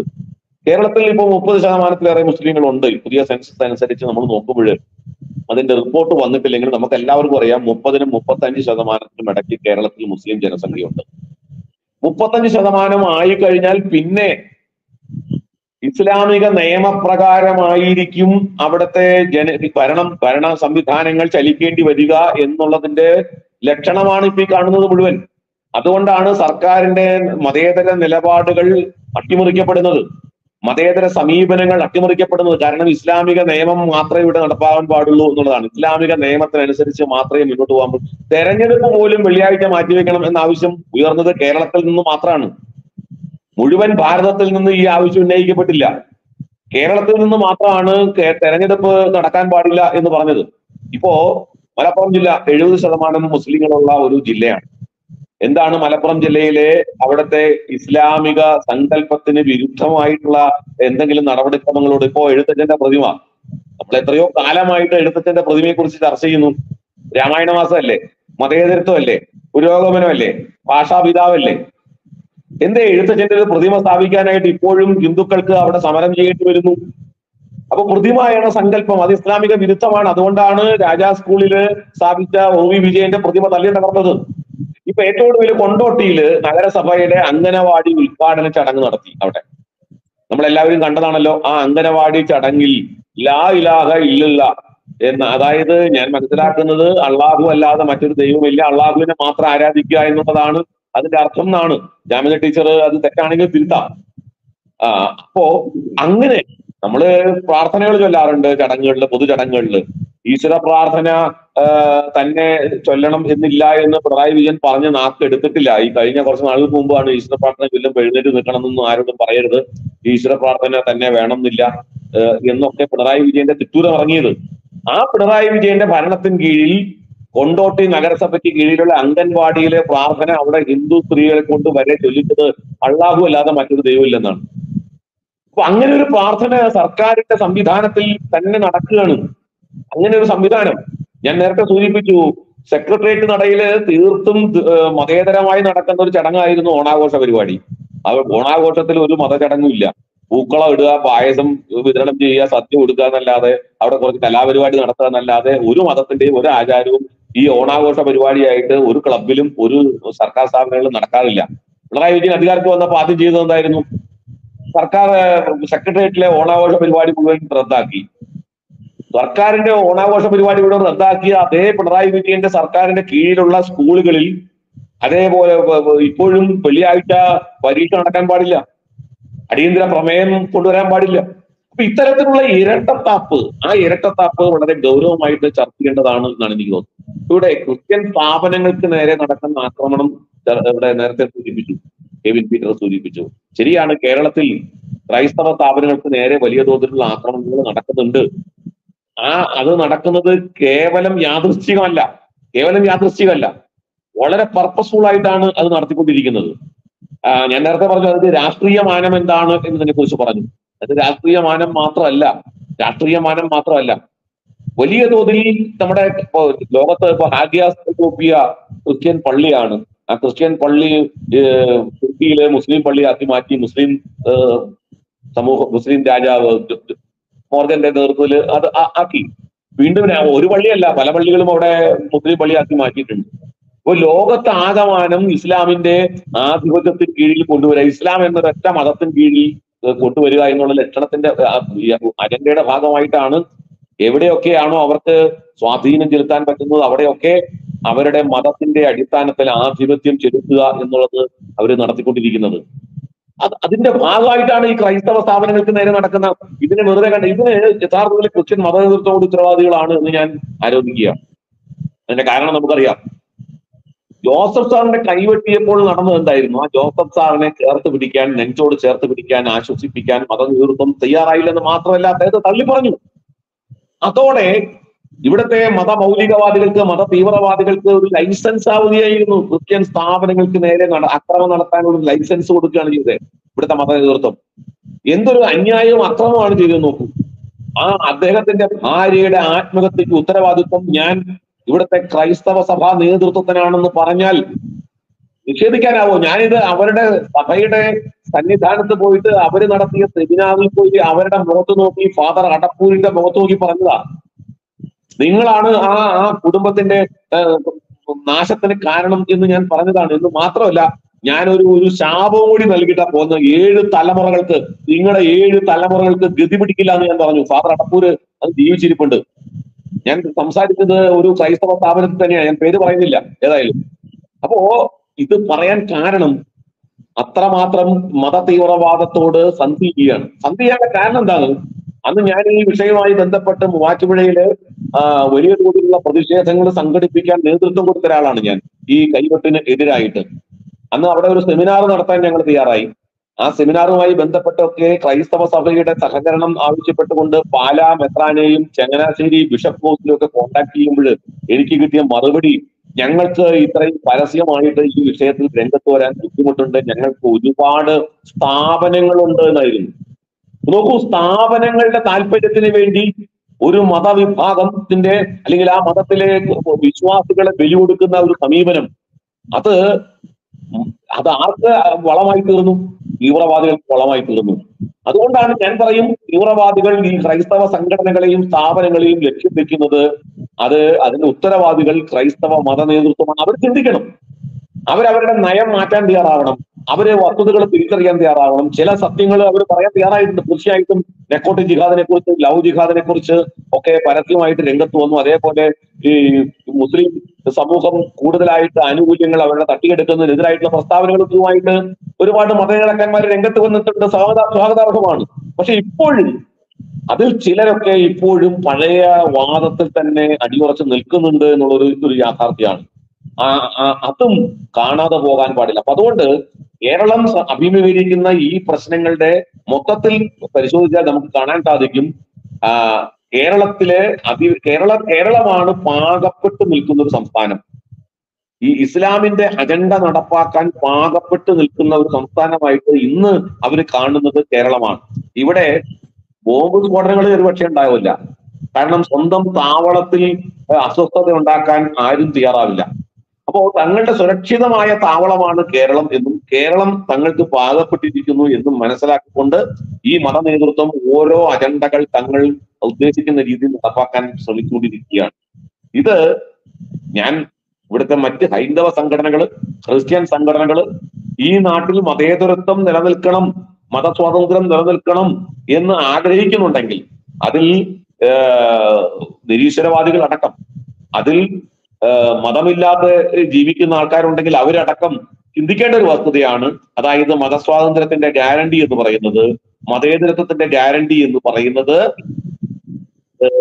യാതൊരു സംശയവും വേണ്ട ഭാരതത്തിന്റെ നിലനിൽക്കുന്ന ഈ ഈ ഒരു സ്വാതന്ത്ര്യത്തിന്റെ അടിസ്ഥാനം നമ്മുടെ നാടിന്റെ സംസ്കാരമാണ് നമ്മുടെ നാടിന്റെ ധർമ്മമാണ്. അതിനെ തകർത്തുകൊണ്ട് ഈ തരത്തിലുള്ള മത മേധാവിത്വം ഇസ്ലാമിക മതമേധാവിത്വം കേരളത്തിൽ ഉണ്ടായാൽ ആദ്യം വെല്ലുവിളിക്കപ്പെടേണ്ടി വരുന്നത് ഈ നാട്ടിലെ സ്വാതന്ത്ര്യമായിരിക്കും നമുക്ക് സംസാരിക്കാനുള്ള സ്വാതന്ത്ര്യം നമുക്ക് പ്രവർത്തിക്കാനുള്ള സ്വാതന്ത്ര്യം നമ്മുടെ ജനാധിപത്യ അവകാശം പൗരാവകാശം മുഴുവൻ വെല്ലുവിളിക്കപ്പെടേണ്ടി വരുന്നത് ഈ ഇസ്ലാമിക അധിനിവേശത്തിന് കീഴിലായിരിക്കും എന്നുള്ള കാര്യത്തിൽ യാതൊരു സംശയവും ആർക്കും വേണ്ട. യാതൊരു സംശയവും ആർക്കും വേണ്ട. അത് മനസ്സിലാക്കാതിട്ടല്ല ഇവിടുത്തെ രാഷ്ട്രീയ നേതാക്കന്മാർക്ക്. പക്ഷേ താൽക്കാലികമായ നേട്ടങ്ങൾക്ക് വേണ്ടി അവരുടെയൊക്കെ മക്കൾ ഇവിടെ ഒന്നുമല്ല പഠിക്കുന്നത്. ഈ പറയുന്ന രാഷ്ട്രീയ നേതാക്കന്മാരുടെ മക്കളൊക്കെ വിദേശത്ത് അതേപോലെ അവരൊക്കെ വലിയ തോതിൽ സമ്പാദിച്ച് അവരൊക്കെ സമയം വന്നാൽ അവർ കേരളം വിട്ടു പോകും. ഞാൻ സംശയം വേണ്ട. നമ്മൾ കുറെ ആൾക്കാർ മാത്രമേ കേരളത്തിൽ ഉണ്ടാവൂ. ഇവരുടെ ഒക്കെ ഈ ഹണ്ടിങ് നേരിട്ടുകൊണ്ട് ഇവരുടെ വല്ല അക്രമം സഹിക്കാൻ വിധിക്കപ്പെട്ടവരായിട്ട് കേരളത്തിൽ കുറെ ആൾക്കാർ നമ്മളുണ്ടാവും. ഈ പറയുന്ന രാഷ്ട്രീയ നേതാക്കന്മാര് അത് ഇടതാകട്ടെ വലതാകട്ടെ അവരൊക്കെ മിക്കവാറും സ്വിസ് ബാങ്കിലോ അതേപോലെ മറ്റേതെങ്കിലും സംസ്ഥാനങ്ങളിലൊക്കെ ഏക്കർ കണക്കിന് ഭൂമി വാങ്ങി സുരക്ഷിതമായ താവളം ഒരുക്കിയിട്ട് അവർ ചുളുവിൽ അങ്ങോട്ടേക്ക് പോകും. കേരളത്തോട് ഗുഡ് ബൈ പറയും. ഭരിക്കാവുന്ന സന്ദർഭങ്ങളിൽ അത്രത്തോളം ഭരിക്കാനും സൗകര്യങ്ങൾ അനുഭവിക്കാനും ഇതിന് അതിന് സ്വന്തം സമുദായത്തെയും രാഷ്ട്രത്തെയും വെല്ലുവിളിച്ചുകൊണ്ട് അതിനൊക്കെ വേണ്ടി ശ്രമിക്കും ഇവർ. ഒപ്പം തങ്ങൾക്ക് പറ്റാത്ത സാഹചര്യം വന്നാൽ കേരളം വിട്ടു പോവുകയും ചെയ്യും. ഇതാണ് ഇവരുടെ ഈ കേരളം ഭരിക്കുന്നവരുടെ അല്ലെങ്കിൽ പ്രതിപക്ഷത്തിരിക്കുന്നവരുടെ ഒക്കെ മനസ്സിലിരിപ്പ്. അതുകൂടി നമ്മൾ മനസ്സിലാക്കിയപ്പോൾ നമ്മൾ യഥാർത്ഥത്തിൽ രാഷ്ട്രീയ കക്ഷി ഭേദമന്യേ ഈ തരത്തിലുള്ള മത അജണ്ടകൾക്കെതിരെ എല്ലാ ജനവിഭാഗങ്ങളും ഒരുമിച്ച് മുന്നിട്ടിറങ്ങേണ്ട ഒരു സാഹചര്യം ഇപ്പോൾ നിലവിലുണ്ട് എന്നുള്ളതാണ് ഈ വിഷയത്തെ സംബന്ധിച്ച് സൂചിപ്പിക്കാനുള്ളത്. ടീച്ചർ നമ്മൾക്കറിയാം ഹിജാബ് കലാപം കർണാടകത്തിൽ അങ്ങോട്ട് കത്തി പടർന്ന സമയത്ത് നമ്മൾ എല്ലാവരും സംശയിച്ചതാണ്. എന്തിനാണ് ഈ കുട്ടികളെ വെച്ചുകൊണ്ട് അതല്ലെങ്കിൽ പെൺകുട്ടികളെ വെച്ചുകൊണ്ട് ആൺകുട്ടികളെ വെച്ചുകൊണ്ട് കോളേജ് സ്കൂൾ തലങ്ങളിലുള്ള ആളുകളെ വെച്ചുകൊണ്ട് ഇവർ ഈ ഒരു കലാപം ആസൂത്രണം ചെയ്യുന്നത്? എന്ന്. എന്നാൽ പിന്നീട് നമ്മൾ കണ്ടു P D S D P അതല്ലെങ്കിൽ പോപ്പുലർ ഫ്രണ്ടിന്റെ ആ ഒരു കുട്ടി പിശാജ് വിളിച്ച അങ്ങനെ തന്നെ സൂചിപ്പിക്കേണ്ടതുണ്ട് ആ കുട്ടിയെ. ആ കുട്ടി വിളിച്ച മുദ്രാവാക്യം നമ്മൾ കേട്ടു അവലും വലനും കുന്തിരിക്കവും കരുതി വെച്ചോ. നിന്റെയൊക്കെ കാലന്മാരായി ഞങ്ങൾ ഇതാ നിന്നെയൊക്കെ തീർക്കാൻ വരുന്നു എന്നുള്ളത് ഹിന്ദു ക്രിസ്ത്യൻ സമുദായത്തോട് സമൂഹത്തോട് ഒന്നടങ്കം വിളിച്ചു പറയും ലോകം മുഴുവൻ അത് കണ്ടു. ഇന്നിപ്പോൾ ഇതാ കേരളത്തിലും കർണാടകയെ തന്നെ അനുസ്മരിപ്പിക്കുന്ന രീതിയിലേക്ക് ഈ കുട്ടികളെ വെച്ചുകൊണ്ട് തന്നെ ഈ ഇപ്പൊ മദ്രസകളിലൊക്കെ പഠിച്ചിറങ്ങുന്ന കുട്ടികൾ പല പ്രതികരണങ്ങളും നടത്തുന്ന വീഡിയോ വീഡിയോസ് ഒക്കെ ഒരുപാട് നമ്മൾ വ്യത്യസ്ത ഭാഷകളിൽ നമ്മൾ കണ്ടിട്ടുണ്ട്. അത്തരത്തിൽ ഈ കുട്ടികളെ വെച്ചുകൊണ്ട് ഈ കല കലാപം ആസൂത്രണം ചെയ്യുന്ന ഇവരുടെ ആ ഒരു അറബി ഭാഷയിൽ പറയുകയാണെങ്കിൽ ഇവരുടെ ആ ഒരു തക്കിയ അതല്ലെങ്കിൽ ആ രീതിയിലുള്ള ആസൂത്രണം അതിനെ കൂടി കൂട്ടിച്ചേർത്തുകൊണ്ടും പിന്നെ അതുപോലെ കെവിൻ പീറ്റർ സാറിനോടും അതുപോലെ ആർ വി ബാബു സാറിനോടും കൂടെ ഉള്ള ചോദ്യങ്ങൾ കൂടി ടീച്ചർക്ക് ചോദിക്കാനുള്ളതും കൂടെ കൂട്ടിച്ചേർക്കണം. ഇവിടെ കഴിഞ്ഞ ദിവസം പുലിയാർക്കാസിമി ഒരു പ്രസ്താവന ഇറക്കി. മക്കളെ നമ്മൾ ഏതാണ്ട് ഭൂരിപക്ഷമായിട്ടുണ്ട് കേരളത്തിൽ കേട്ടോ. അത് ചില വിഷയങ്ങൾക്കുള്ള സൂചനയാണ്. അത് കഴിഞ്ഞ് ഒരു മാസം പോലും കഴിഞ്ഞില്ല അപ്പോഴാണ് ഞങ്ങളെ വിദ്യാഭ്യാസപരമായി പ്ലസ് വണ്ണിന് സീറ്റ് തന്ന് ഞങ്ങൾക്ക് പരിഗണന ലഭിക്കുന്നില്ല കേരളത്തിൽ. അതുകൊണ്ട് ഞങ്ങൾക്ക് മാത്രമായി ഒരു മലദ്വാർ സംസ്ഥാനം ഇങ്ങോട്ട് തന്നാൽ ഞങ്ങൾ എന്താന്ന് വെച്ചാൽ അങ്ങോട്ട് ആയിക്കോളാം. എത്ര മാധ്യമങ്ങൾ ഈ വിഷയത്തിൽ പ്രതികരിച്ചു. അവർ പറഞ്ഞത് ചെറിയ കാര്യമല്ല. എത്ര രാഷ്ട്രീയ സംഘടനകൾ കേരളത്തിന്റെ മാറു പിളർക്കുന്ന സംഭവത്തിൽ എത്ര പേര് പ്രതികരിച്ചിട്ടുണ്ട്? നമ്മുടെ മുഖ്യധാരാ മാധ്യമങ്ങളൊക്കെ ഈ വിഷയത്തിൽ മൗനം പാലിച്ചത് നമ്മൾ കണ്ടു. എന്താ കാരണം? എതിരെ നിൽക്കുന്നവരുടെ മതവികാരം വളരെ പെട്ടെന്ന് വ്രണപ്പെടും. നമ്മൾ ഇത്രയും ശതമാനമായിട്ടുണ്ട് എന്ന് പറഞ്ഞത് നമ്മളുടെ മത അജണ്ടകൾ.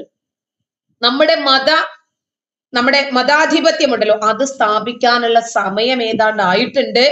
നമ്മൾ പരാജയപ്പെട്ട് പിന്മാറി പോകേണ്ടവരല്ല ഇവിടെ നമുക്കാണ് കൂടുതൽ പ്രാധാന്യമുള്ളത്. മൻമോഹൻ സിംഗിന്റെ പ്രകടന പത്രികയിൽ പറയുന്നത് രാജ്യത്തിന്റെ സമ്പത്തിന്റെ ഒരു ഭാഗം പ്രഥമ പ്രധാനമായി മുസ്ലിങ്ങൾക്ക് അർഹതപ്പെട്ടതാണെന്നാണ്. എത്രമാത്രം മുസ്ലിം പ്രീണനമാണ് നമ്മുടെ മുൻകഴിഞ്ഞ നേതാക്കൾ കാഴ്ചവെച്ചത് എന്ന് നമുക്ക് മനസ്സിലാക്കണം. ബാംഗ്ലൂരിലെ ഹിജാബ് വേണമെന്ന് പറഞ്ഞ് മുന്നിട്ടിറങ്ങിയ മുസ്കാൻ ഖാൻ എന്ന് പറയുന്ന ഒരു പെൺകുട്ടി. ആ കുട്ടി അള്ളാഹു അക്ബർ എന്ന് വിളിച്ചു വിളിച്ച് കോളേജിലേക്ക് ഇറങ്ങുന്നു. ആ പെൺകുട്ടി പിന്നീട് പറയുന്നുണ്ട് അന്നാദ്യമായിട്ടാണ് ഞാൻ ആ പർദ്ദയ്ക്കകത്ത് ഇറങ്ങി നിൽക്കുന്നത്. അന്നാദ്യമായിട്ടാണ് ഞാൻ ഹിജാബ് ധരിക്കുന്നത്. അന്നാദ്യമായിട്ടാണ് ഞാൻ മുഖം മറയ്ക്കുന്ന നിക്കാബ് എന്ന വസ്ത്രം ധരിക്കുന്നത്. ആ കുട്ടി വളരെ മോഡേൺ ആയിട്ട് നടക്കുന്ന ഒരു മോസ്റ്റ് മോഡേൺ പെൺകുട്ടിയാണ്. ആ കുട്ടി പിന്നീട് ആ കുട്ടിയുടെ ഫ്രണ്ടും ഒക്കെ ആയിട്ടുള്ള മോഡേൺ ആയിട്ടുള്ള വസ്ത്രത്തിലുള്ള ഒരുപാട് ഫോട്ടോസ് ആ പെൺകുട്ടിയുടെ തന്നെ ഇൻസ്റ്റാഗ്രാം ഫോളോവേഴ്സ് എടുത്ത് പുറത്തിട്ടിരുന്നു. ആ പെൺകുട്ടിയുടെ മാതാപിതാക്കൾ പിന്നീട് മാധ്യമങ്ങളോട് വന്ന് പറയാണ് നരേന്ദ്രമോദി ഭരിക്കുന്ന ഭാരതത്തിൽ ഞങ്ങൾക്ക് ഒരു പ്രശ്നവും ഇല്ല ഞങ്ങളെ ഇനി ബുദ്ധിമുട്ടിപ്പിക്കരുത്. ഞങ്ങൾക്ക് ഒരു കുഴപ്പമില്ല. എന്താ കാരണം? അൽ ഖ്വയ്ദയുടെ നേതാവ് നേരിട്ട് വിളിച്ചിട്ട് ഈ പെൺകുട്ടിക്ക് അനുമോദനം അറിയിക്കുകയാണ്. കാരണം അള്ളാഹു അക്ബർ എന്നുള്ള വലിയ ആശയം അവരവിടെ പ്രചരിപ്പിച്ചില്ലേ? ഇന്നലെ ജർമ്മനിയിൽ നിന്ന് വലിയ ഒരു വിഭാഗം ആളുകളെ പിടിച്ച് പുറത്തിടാൻ ജർമ്മനി പുതിയ നിയമം പാസാക്കി. അതിനവരെ സഹായിച്ചത് നമ്മുടെ ഫ്രാൻസിന്റെ ഇമ്മാനുവൽ മാക്രോൺ ആണ് എന്താണ് കാരണം? ഇവർക്ക് വേണ്ടതെല്ലാം നൽകി. ഒടുവിൽ ഒരു ദിവസം ഒരു ഞായറാഴ്ച ദിവസം രാവിലെ ഇവർ ക്രിസ്ത്യൻ ചർച്ചിലേക്ക് വരുമ്പോൾ ചർച്ചിനകത്ത് മുഴുവനും ഇവരപ്പ പെയിന്റ് അടിച്ചിട്ടേ ഉള്ളൂ. അള്ളാഹു അക്ബർ എന്ന് അറബിയിൽ എഴുതി വെച്ചിരിക്കുന്നു. അവരെ കുർബാനയ്ക്ക് കണ്ട കയറുന്ന ഒരു മന്ദിരമുണ്ട്. അവിടെ എഴുതി വെച്ചിരിക്കുന്നു ലാ ഇലാഹ ഇല്ലല്ലാ. അങ്ങനെയാണ് അവർ ചിന്തിച്ചത്. ആ ഇവരേതാണ്ട് നമ്മുടെ നാട്ടിൽ ഭൂരിപക്ഷമായി തുടങ്ങിയിട്ടുണ്ട്. ഇവരുടെ ക്രമേണയുള്ള ആ പുഴുക്കടി ഇവർ പുറത്തെടുത്തിട്ടുണ്ട്. ഇവരുടെ വട്ടച്ചൊറിയാണ്. ഇത് ചൊറിഞ്ഞു ചൊറിഞ്ഞ് ഇവർ സുഖിച്ചോണ്ടേയിരിക്കും. അതുകൊണ്ട് എത്രയും പെട്ടെന്ന് ഇവർക്ക് തടയിട്ടേ മതിയാകൂ എന്നവർ മനസ്സിലാക്കുന്നു. ഇവർ ഓരോരോ അജണ്ടകളാണ് ഓരോ സമയത്തും. ഒടുവിൽ ഇവിടെ സത്യധാര എന്ന് പറയുന്ന എ പി വിഭാഗത്തിന്റെ പിരിഞ്ഞു പോയൊരു വിഭാഗമുണ്ട്. അവരുടെ ഒരു മാസികയുടെ എഡിറ്റർ ഉണ്ട് ഒരു അൻവർ സാദത്ത്. അദ്ദേഹം എഴുതുവാണ് കേരളം പ്രത്യേകമായിട്ട് ഒരു സംസ്ഥാനമാക്കി മുസ്ലിങ്ങൾ ചോദിച്ചാൽ എന്താണ് അതിനകത്തൊരു തെറ്റ്? കണ്ടോ? ഇവരുടെ ഉള്ളിൽ കിടക്കുന്നതാണ് പി എഫ് ഐ എന്ന സംഘടന മാത്രമേ നിരോധിച്ചിട്ടുള്ളൂ. അവരുടെ ലക്ഷക്കണക്കിന് വരുന്ന ആളുകൾ മഹാജന സമ്മേളനത്തിൽ കോഴിക്കോട് കടപ്പുറത്ത് സംഘടിച്ച ലക്ഷക്കണക്കിന് ആളുകൾ ഇപ്പോഴും ഇവരുടെ സംഘടനയ്ക്കകത്തുണ്ട്. ഇവരെ വളർത്തിക്കൊണ്ട് വരുന്നതാരാ? നമ്മുടെ നാട്ടിലെ സെക്യുലർ പാർട്ടിക്കാർ. അവർക്ക് ഇവരെ വളർത്തിക്കൊണ്ട് വന്നേ മതിയാകൂ. കാരണം അവരുണ്ടെങ്കിലേ ഇവരുള്ളൂ. താഴെ സി പി എമ്മിന്റെ ഓഫീസും മുകളിൽ പി എഫ് ഐയുടെ ഓഫീസും കുഴപ്പമില്ല. അവരുടെ കൊടി അങ്ങോട്ടും ഇങ്ങോട്ടും ഒന്ന് മാറ്റിയിട്ടാ മതി. അപ്പൊ ഈ കേരളക്കരയെ ഇവരെ ഒരു മതാധിപത്യമാക്കി മാറ്റാൻ ശ്രമിക്കുന്നതിന്റെ ഭാഗമായിട്ട് ഇവരിങ്ങനെയുള്ള ഓരോരോ അജണ്ടകൾ വീതം നടപ്പിലാക്കിക്കൊണ്ടിരിക്കും. അതിൽ ഇവർ കരുവാക്കുന്നതാണ് ഈ മുസ്ലിം പെൺകുട്ടികളെ. ഈ കുട്ടികൾ കോളേജുകളിൽ വരരുത് ഒന്നുകിൽ. അതല്ലെങ്കിൽ നമ്മൾ മുമ്പ് കണ്ടിരുന്ന ഹോട്ടലുകളൊക്കെ എവിടെ പോയി? നമ്മൾ കണ്ടിട്ടുണ്ടല്ലോ നോൺ വെജ് ആയിട്ടുള്ള ഹോട്ടലുകളൊക്കെ ഇന്ന് വെജിറ്റേറിയൻ ഹോട്ടലുകളായി മാറി. ആ വിഷയത്തിൽ പ്രതികരിച്ചതിന്റെ പേരിലാണ് ബൈജുവിന്റെ പേരിൽ കേസ് വന്നത്. നമ്മളൊരു ഹോട്ടലിൽ പോയി പ്യുവർ വെജിറ്റേറിയൻ ആണ്. അതിനകത്ത് ആര്യ ഭവൻ എന്നൊക്കെ ആയിരിക്കും അതിന്റെ പേര്. ഗൂഗിൾ പേ ഇടുമ്പോൾ മുഹമ്മദ് യൂസഫ് ഇത് എങ്ങനെ വരുന്നു? ഇത് എങ്ങനെ വരുന്നു? ഓരോരോ മേഖലകളായി ഇവർ കൈയടക്കിക്കൊണ്ടിരിക്കുവാണ്. പിന്നെ ചിക്കൻ ആകട്ടെ ബീഫ് ആകട്ടെ മീനാകട്ടെ ഓരോരോ മേഖലകൾ വീതം ഇവർ പിടിച്ചെടുത്ത് പിടിച്ചെടുത്ത് കണ്ണൂർ ദാ ഹലാൽ ബാങ്ക് വന്നു.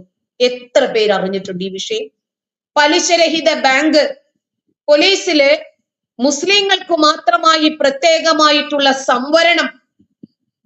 ഇന്ന് പത്ത് മുപ്പത്തഞ്ച് വർഷം പുറകോട്ട് പോയാൽ നമുക്കറിയാം ഇവിടെ ഗൾഫ് പണത്തിന്റെ ആധിക്യം നല്ല രൂപത്തിൽ ഉണ്ടായിട്ടുണ്ട് പണ്ട് ഓല കെട്ടിടങ്ങളായിരുന്ന പള്ളികളൊക്കെ ഇന്ന് ശീതീകരിച്ച വലിയ അമ്പരചുംബികളായ കൊട്ടാര സൗധങ്ങളായി മാറിക്കഴിഞ്ഞു. എന്താണ് അതിന് കാരണം? ഇവർക്ക് ഇഷ്ടം പോലെ പണം വന്നിറങ്ങുന്നുണ്ട്. ആ പണത്തിന്റെ കൊഴുപ്പിൽ ഇവർക്ക് ഒരുപാട് ഇസ്ലാമിക സ്ഥാപനങ്ങളുണ്ട്. എമ്പാടും ഞാനും ഒരു ഇസ്ലാമിക സ്ഥാപനത്തിൽ പഠിച്ച ആളാണ് മഞ്ചേരി എടവണ്ണ അവിടെ ബി എഡ് കോളേജ് ഉണ്ട്. ട്രെയിനിങ് കോളേജ് ഉണ്ട്. തഹസുൽ ഹദീസിന്റെ കോഴ്സ് ഉണ്ട്. തഹഫീമുൽ ഖുർആന്റെ കോഴ്സ് ഉണ്ട്. ഹൈസ്കൂൾ ഉണ്ട് ഹയർ സെക്കൻഡറി സ്കൂൾ ഉണ്ട് അറബി കോളേജ് ഉണ്ട് എല്ലാം ഉണ്ട്.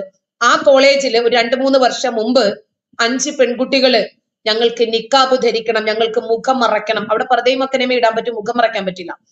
അങ്ങനെ ഇവരെ ഒരു കത്ത് കൊടുക്കുക. ആ കത്ത് വലിച്ചു കീറി നാലായിട്ട് എറിഞ്ഞ അതിന്റെ സ്ഥാപകൻ അവരുടെ മുഖത്തേക്ക് വലിച്ചെറിഞ്ഞു ഇറങ്ങി പിക്കോളാൻ പറഞ്ഞു. അവിടെ ഇവർ പ്രതിഷേധിച്ചില്ല. ഒരു ഏതോ ഒരു മാധ്യമം മാത്രം ചെറിയ രൂപത്തിൽ ഒരു കോളത്തിനകത്ത് അകത്ത് ഒരു അഞ്ചാമത്തെ ആറാമത്തെ പേജിൽ കണ്ടൊരു വാർത്ത കൊടുത്തിട്ടുണ്ട്. അവിടെ ഇവർ പ്രതിഷേധിച്ചില്ല. കാരണം അവിടെ താടിയുള്ള അപ്പൂപ്പനാണ് ഇരിക്കുന്നത്. അവരെ പേടിക്കണം. പക്ഷേ ക്രിസ്ത്യൻ മാനേജ്മെന്റ് സ്ഥാപനങ്ങളിലും ഇസ്ലാമിക സ്ഥാപന ഇസ്ലാമിക മാനേജ്മെന്റ് സ്ഥാപനങ്ങളിലും ഹിന്ദു മാനേജ്മെന്റ് സ്ഥാപനങ്ങളിലും ഇവർ ഒരേപോലെ മതത്തെ കൊണ്ടുവരാനാണോ ശ്രമിക്കുന്നത്? അല്ല എം ഇ എസിന്റെ സ്ഥാപനത്തിൽ ഹിന്ദുക്കൾക്ക് വേണ്ടി പൂജിക്കാൻ ഒരു റൂം അവർ കൊടുക്കുവോ? ക്രിസ്ത്യാനികൾക്ക് ബൈബിൾ പഠിക്കാൻ വേണ്ടി ഒരു സ്കൂൾ എം ഇ എസിന്റെ സ്ഥാപനത്തിൽ ഇവർ കൊടുക്കുവോ? അതിനു വേണ്ടിയിട്ട് ആരെങ്കിലും സമരം ചെയ്യുമോ? നടക്കില്ല. കാരണം നമ്മുടെ നാട്ടിൽ എല്ലാ രൂപത്തിലും ഇവരെ പ്രോത്സാഹിപ്പിക്കുകയും ഇവർക്ക് വെള്ളവും വളവും കൊടുത്ത് വളർത്തുകയും ചെയ്യുന്ന നമ്മുടെ നാട്ടിലെ സെക്യുലർ പാർട്ടിക്കാർ അവരറിയുന്നില്ല.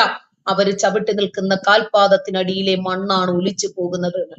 ബാബുചേട്ടാ എനിക്ക് ഈ വിഷയത്തെ കുറിച്ചിട്ട് ബാബുചേട്ടനോട് ചോദിക്കാനുള്ളത് ഈ കേരളത്തിൽ ഇതുപോലെയുള്ള ഒരുപാട് മതവൽക്കരണം നടക്കുന്നുണ്ട്. ഇതിനെതിരെ സംസാരിക്കുന്ന ആളുകളെ ശക്തമായ രൂപത്തിൽ കേസിൽ കൊടുക്കുക അടിച്ചമർത്താൻ ശ്രമിക്കുക ഭീഷണിപ്പെടുത്തുക ഇങ്ങനെ ഇവർ ഈ നാട് പാകിസ്ഥാനാക്കി മാറ്റാൻ ശ്രമിക്കുന്നതിനെതിരെ ബാബുചേട്ടൻ ഒരു വലിയ സംഘടനയുടെ ആളാണ്. നിങ്ങൾക്ക് ഏത് രൂപത്തിലാണ് ഇതിനെ പ്രതിരോധിക്കാൻ സാധിക്കുന്നത്?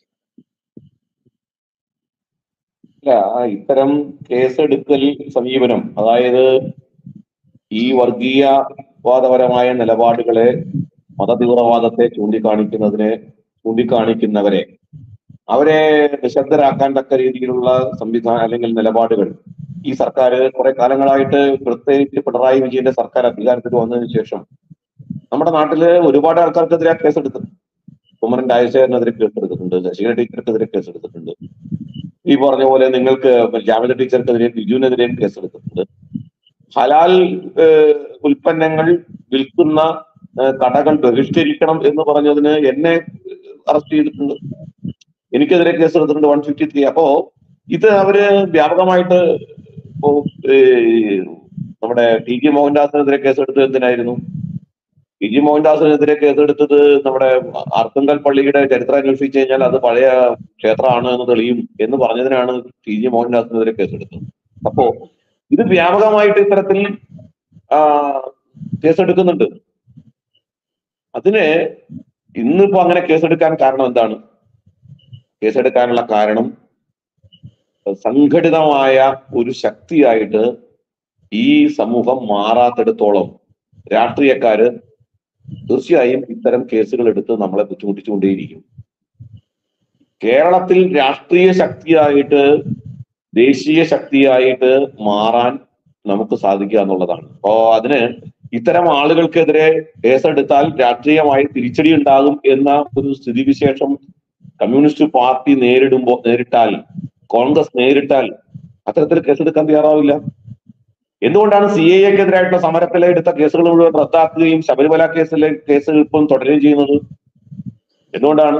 രാഷ്ട്രീയമായ ശക്തിയായിട്ട് മാറുക എന്നുള്ളത് മാത്രമേ ഇതിന് പരിഹാരമുള്ളൂ. ഇതിന് ഇപ്പൊ നാളെ ഇപ്പൊ ഈ ഒരു പരിപാടി നടത്തിയതിന്റെ പേരിൽ വേണമെങ്കിൽ നാളെ ജാമ്യ ടീച്ചർക്കെതിരെയും ബിജുവിനെതിരെയും എനിക്കെതിരെയും ഒക്കെ കെവിൻ പീറ്ററിനെതിരെ കേസെടുക്കാം. നമുക്ക് അങ്ങനെ തടയാൻ പറ്റും? കേസെടുക്കാൻ എല്ലാ വിധത്തിലും സാധിക്കും അപ്പോ നിലവിൽ അത്തരം സന്ദർഭങ്ങളിൽ നമുക്ക് വ്യക്തിപരമായിട്ടും അല്ലാതെയും ജനകീയമായ മുന്നേറ്റങ്ങളിലൂടെയും ഒക്കെ പ്രതിഷേധങ്ങൾ രേഖപ്പെടുത്തുക നിയമപരമായ പോരാട്ടങ്ങളിലൂടെ അതിനെ നേരിടാൻ ശ്രമിക്കുക എന്നല്ലാതെ നമ്മുടെ മുമ്പിൽ വേറെ ഓപ്ഷൻ ഇല്ല നമ്മുടെ മുമ്പിൽ വേറെ ഓപ്ഷൻ ഇല്ല. ഇപ്പോ ഹൈക്കോടതിയിൽ നമ്മൾ ഈ കേസ് വാഷ് ചെയ്യണമെന്ന് പറഞ്ഞു പോയാൽ അവിടെ ഇരിക്കുന്ന ജഡ്ജിയുടെ ഡിസ്ക്രിപ്ഷൻ അനുസരിച്ചിട്ടാണ് ഈ കാര്യങ്ങൾ പോവുക. അവിടെ ഇരിക്കുന്നവരും ഏത് ജഡ്ജാണ് ഏത് ആ ജഡ്ജിന്റെ മനോഭാവം എന്ന് ഞാൻ അതിനെ കുറിച്ച് കൂടുതൽ പറയുന്നില്ല. പല കോടതികളുടെയും നിലപാടുകൾ പലപ്പോഴും ഏത് നിലയ്ക്കാണ് വരുന്നത് എന്നുള്ളതിനെ കുറിച്ചൊക്കെ ഇന്ന് ചർച്ച ചെയ്യപ്പെട്ടുകൊണ്ടിരിക്കുകയാണല്ലോ. സുപ്രീം കോടതിയിൽ അടക്കം അത്തരം കേസുകൾ നമ്മൾ കാണുകയാണ്. ചിലർക്കൊക്കെ പ്രത്യേക പ്രിവിലേജ് ആണ് പ്രത്യേക ചിലരുടെയൊക്കെ ജാമ്യാപേക്ഷ രാത്രിക്ക് രാത്രി കേൾക്കും. പ്രത്യേക ബെഞ്ചിരുന്ന് കേൾക്കും. തീസ്റ്റാ സത്യവാദിന്റെ കേസ് നമുക്കറിയാം. രാത്രിക്ക് രാത്രിയായിരുന്നു തീസ്റ്റാ സത്യവാദിന് ജാമ്യം കൊടുക്കാനായിട്ട് രാത്രി കൂടിയിട്ടാണ് സുപ്രീം കോടതി ജാമ്യം കൊടുത്തത്. സാധാരണക്കാരൻ നമ്മൾ പോയി കഴിഞ്ഞാൽ ആ ജാമ്യം ഇതുപോലെ ജാമ്യം കൊടുക്കാൻ വേണ്ടി കോടതി കൂടുവോ? കൂടില്ല.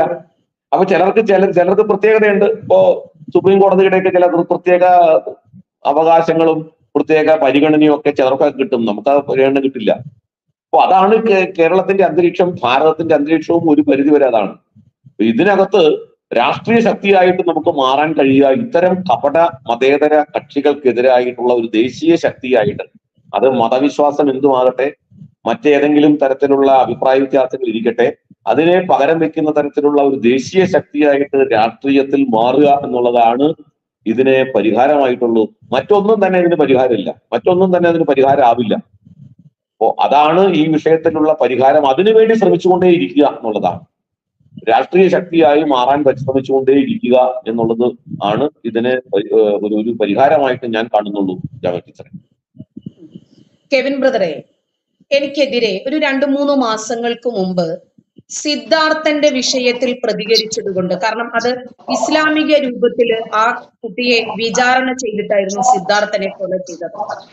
അതിന്റെ വിഷയത്തിൽ ഞാൻ പ്രതികരിച്ചത് കൊണ്ട് എനിക്കെതിരെ ഒരു കേസ് ഉണ്ടായിരുന്നു. അതിന്റെ എഫ് ഐ എസിൽ വ്യക്തമായി എഴുതിയിട്ടുണ്ടായിരുന്നു പാലാ ബിഷപ്പിനെ ഞാൻ ഐക്യദാർഢ്യം പ്രഖ്യാപിച്ച വ്യക്തിയാണ്. അത് ഈ കേസ് പ്രാഥമികമായി ഒരു എഫ് ഐ ആറോ എഫ് ഐ എസോ ഒരാൾ കാണുമ്പോൾ ആ വ്യക്തിയെ ഐഡന്റിഫൈ ചെയ്യുന്ന ഒരു രീതിയാണ്. കാരണം ഇവർ ഏത് രൂപത്തിലുള്ള വ്യക്തിയാണ് എന്ന് ഒന്ന് തിരിച്ചറിയുന്നതിന് വേണ്ടി. പൂഞ്ഞാർ വിഷയമുണ്ടായി. അതിനകത്ത് പ്രായപൂർത്തിയാകാത്ത കുട്ടികളാണ് ബൈക്ക് റേസ് ചെയ്ത് വൈദികനെ ഇടിച്ച് കൊലപ്പെടുത്താൻ ശ്രമിച്ചത്. പാലാ ബിഷപ്പിന്റെ നാവരിയണം തലയരിയണം എന്ന് പറഞ്ഞ് ഇവർ രംഗത്ത് കൊണ്ടു പക്ഷേ ജോസഫ് മാഷിന്റെ വിഷയത്തിൽ ഉണ്ടായിരുന്നത് പോലെ ആയിരുന്നില്ല. പിന്നീടുണ്ടായ ഓരോ വിഷയങ്ങളിലും നിങ്ങളുടെ പ്രതികരണം.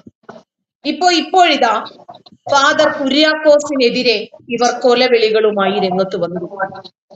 എന്താണ് ഈ വിഷയങ്ങളെയൊക്കെ കൂട്ടി വായിക്കുമ്പോൾ ബ്രദറിന് പറയാനുള്ളത്? എനിക്ക് ചോദിക്കേണ്ടത് നമ്മളൊക്കെ ഒരുമിച്ച് നിന്ന് കേരളത്തിന്റെ മതേതരത്വത്തെ സംരക്ഷിക്കാൻ പൊരുതേണ്ടവരല്ലേ? അല്ല ഇവിടെ ഇവിടെ ഒരു നിലനിൽപ്പ് സാധ്യമാവണമെങ്കിൽ രണ്ട് കാര്യങ്ങളാണ്. ഒന്ന് ഇപ്പോ ശ്രീ ബാബുജി സൂചിപ്പിച്ചതുപോലെ ഒരു കൂട്ടായ്മ ഇവിടെ ഉണ്ടായി ഒരു ബദൽ രാഷ്ട്രീയം ഇവിടെ ഉരുത്തിരിഞ്ഞു വരണം. കാര്യം നിലവിലെ ഭരണ പ്രതിപക്ഷ പാർട്ടികൾ ആ രണ്ട് മുന്നണികൾക്ക് നേതൃത്വം കൊടുക്കുന്ന കമ്മ്യൂണിസ്റ്റ് പാർട്ടിയും കോൺഗ്രസും ഇവിടുത്തെ പൊളിറ്റിക്കൽ ഇസ്ലാം ഹൈജാക്ക് ചെയ്ത് കഴിഞ്ഞു. അപ്പൊ അതുകൊണ്ട് തന്നെ അവരിൽ നിന്നും ഒരു നീതിപൂർവമായ ഒരു നിലപാട് ഒരു വിഷയത്തിലും നാം പ്രതീക്ഷിക്കേണ്ടതില്ല. ഭരണ സംവിധാനങ്ങളെല്ലാം അത്തരം ആളുകളുടെ കീഴിലായി കഴിയും ഇപ്പൊ ചില ആളുകളുടെയൊക്കെ പഠന കേന്ദ്രങ്ങളിൽ നിന്നും പുറത്തു വരുന്ന ലോ അക്കാദമി വരുന്ന ജ- ആ വക്കീൽമാരൊക്കെ നാളെ ജഡ്ജികളായി മാറിക്കഴിഞ്ഞാലുള്ള ഒരു അവസ്ഥ എന്താണ്?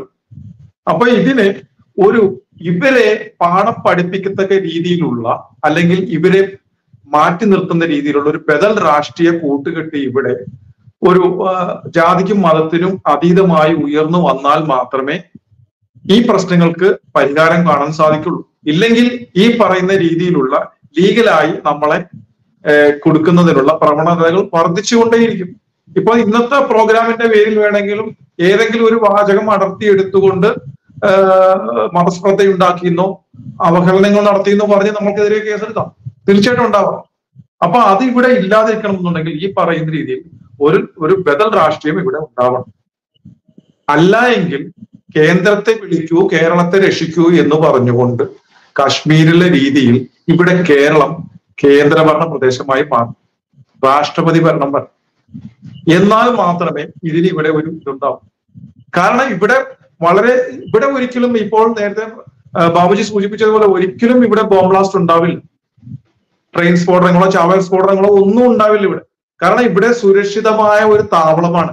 ആലോചന പണ സമാഹരണം പരിശീലനം ഒളിവിൽ താമസിക്കാൻ ഇതിനെല്ലാം പറ്റിയ കേരള ഭാരതത്തിലെ ഒരേ ഒരു സ്റ്റേറ്റ് ആണ് ഇപ്പൊ കേരളം.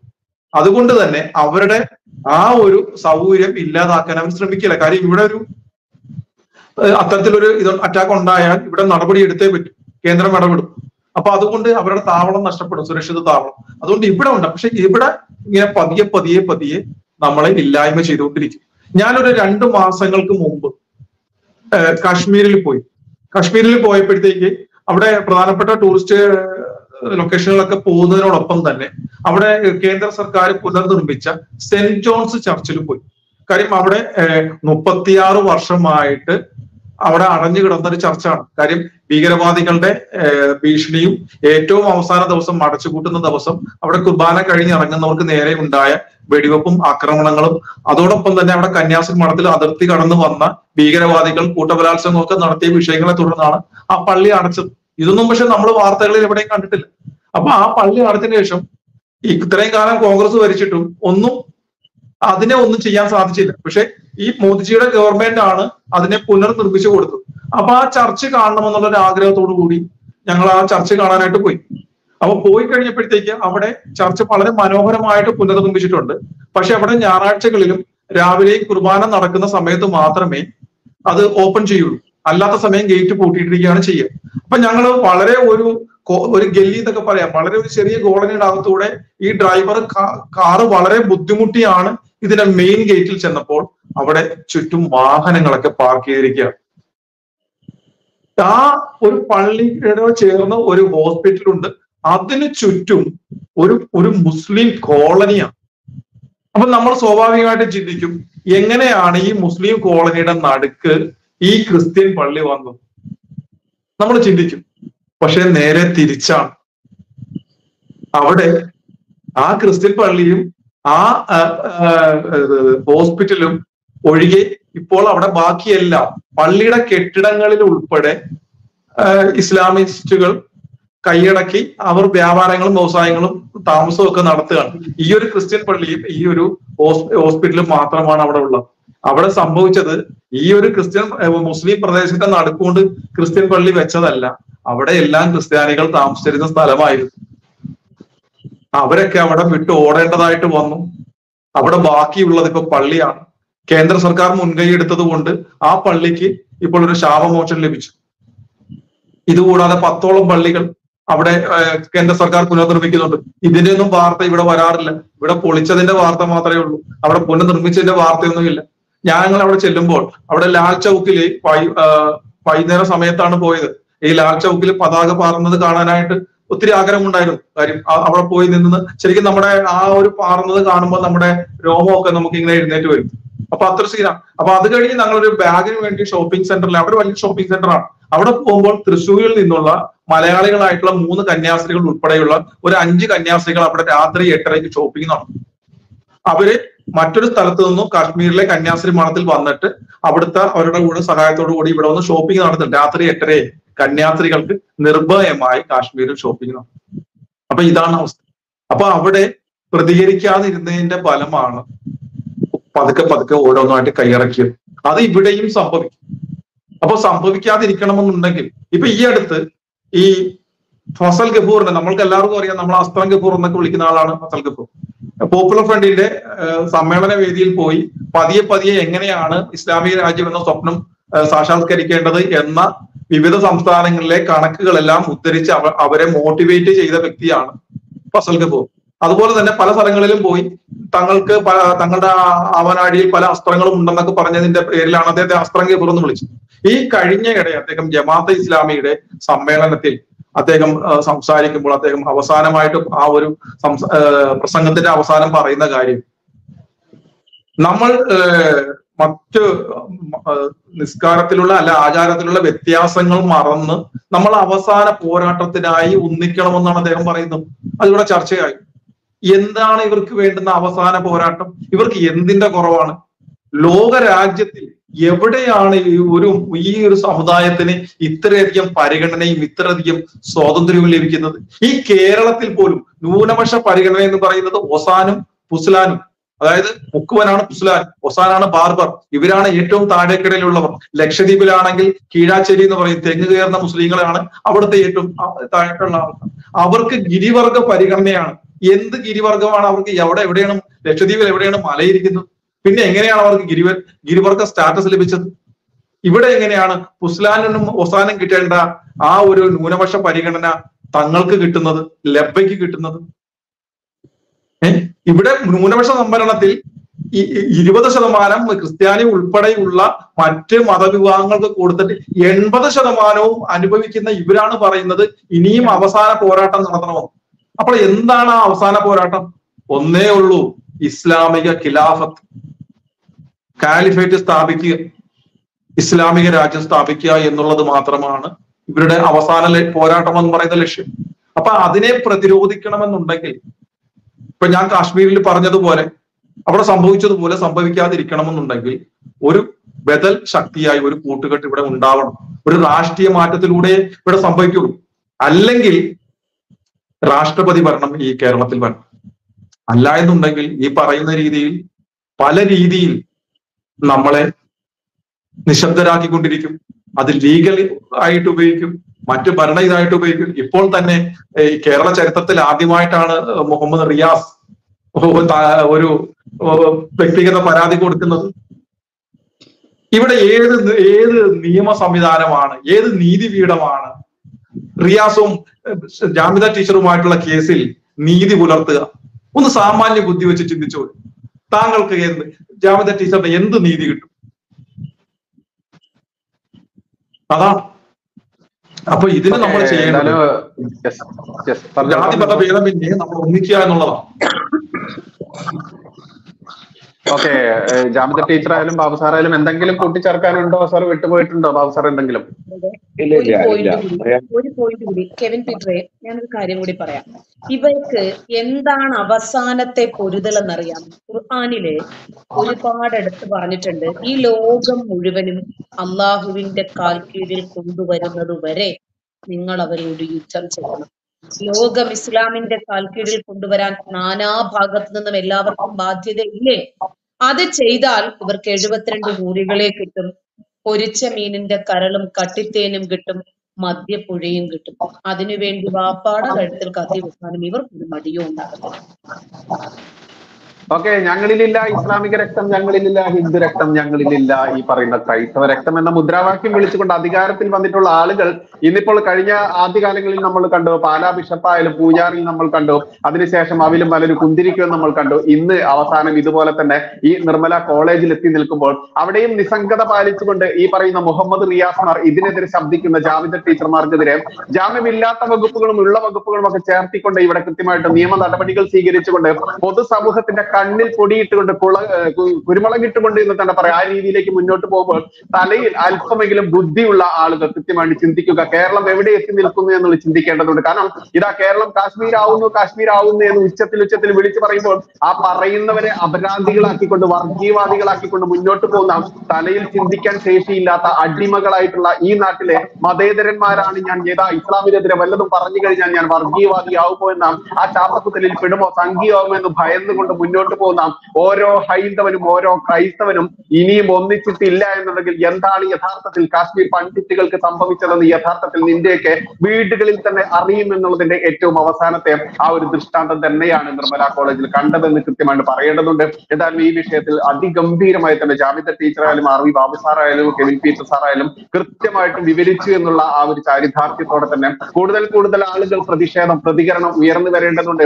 ഇവിടെ ഒന്നോ രണ്ടോ മൂന്നോ നാലോ ആളുകളിൽ ഉയർന്ന് ഉയർന്നു നിൽക്കേണ്ട ആ പ്രതികരണം. ആവരുത് പ്രതികരിക്കുന്ന ആ ഒരു അവസ്ഥയാവരുത് എല്ലാവർക്കും സാമൂഹ്യ മാധ്യമങ്ങളിൽ തുല്യ നീതിയോടുകൂടി തന്നെ പ്രതികരിക്കാനുള്ള അവസരം ഇന്നത്തെ ഈ യുഗത്തിൽ ഉണ്ട് എന്നുള്ളത് മനസ്സിലാക്കിക്കൊണ്ട് തന്നെ കൂടുതൽ കൂടുതൽ ആളുകൾ മുന്നോട്ട് വരട്ടെ എന്ന ആ ഒരു ആശംസയോടെ ആഗ്രഹത്തോടെ പ്രാർത്ഥനയോടെ തന്നെ വിശിഷ്ട അതിഥികളുടെ സമ്മതത്തോടെ നമുക്ക് തൽക്കാലം ഈ സെഷൻ ഇവിടെ അവസാനിപ്പിക്കാം. എന്തായാലും ഗംഭീരമായി പങ്കെടുത്ത രണ്ട് മൂന്ന് അതിഥി രാവിലെ ടീച്ചർ അതിഥികൾക്ക് ഒരുപാട് ഒരുപാട് നന്ദി. മാന്യ പ്രേക്ഷകർക്ക് ഒരുപാട് ഒരുപാട് നന്ദി. നമസ്കാരം.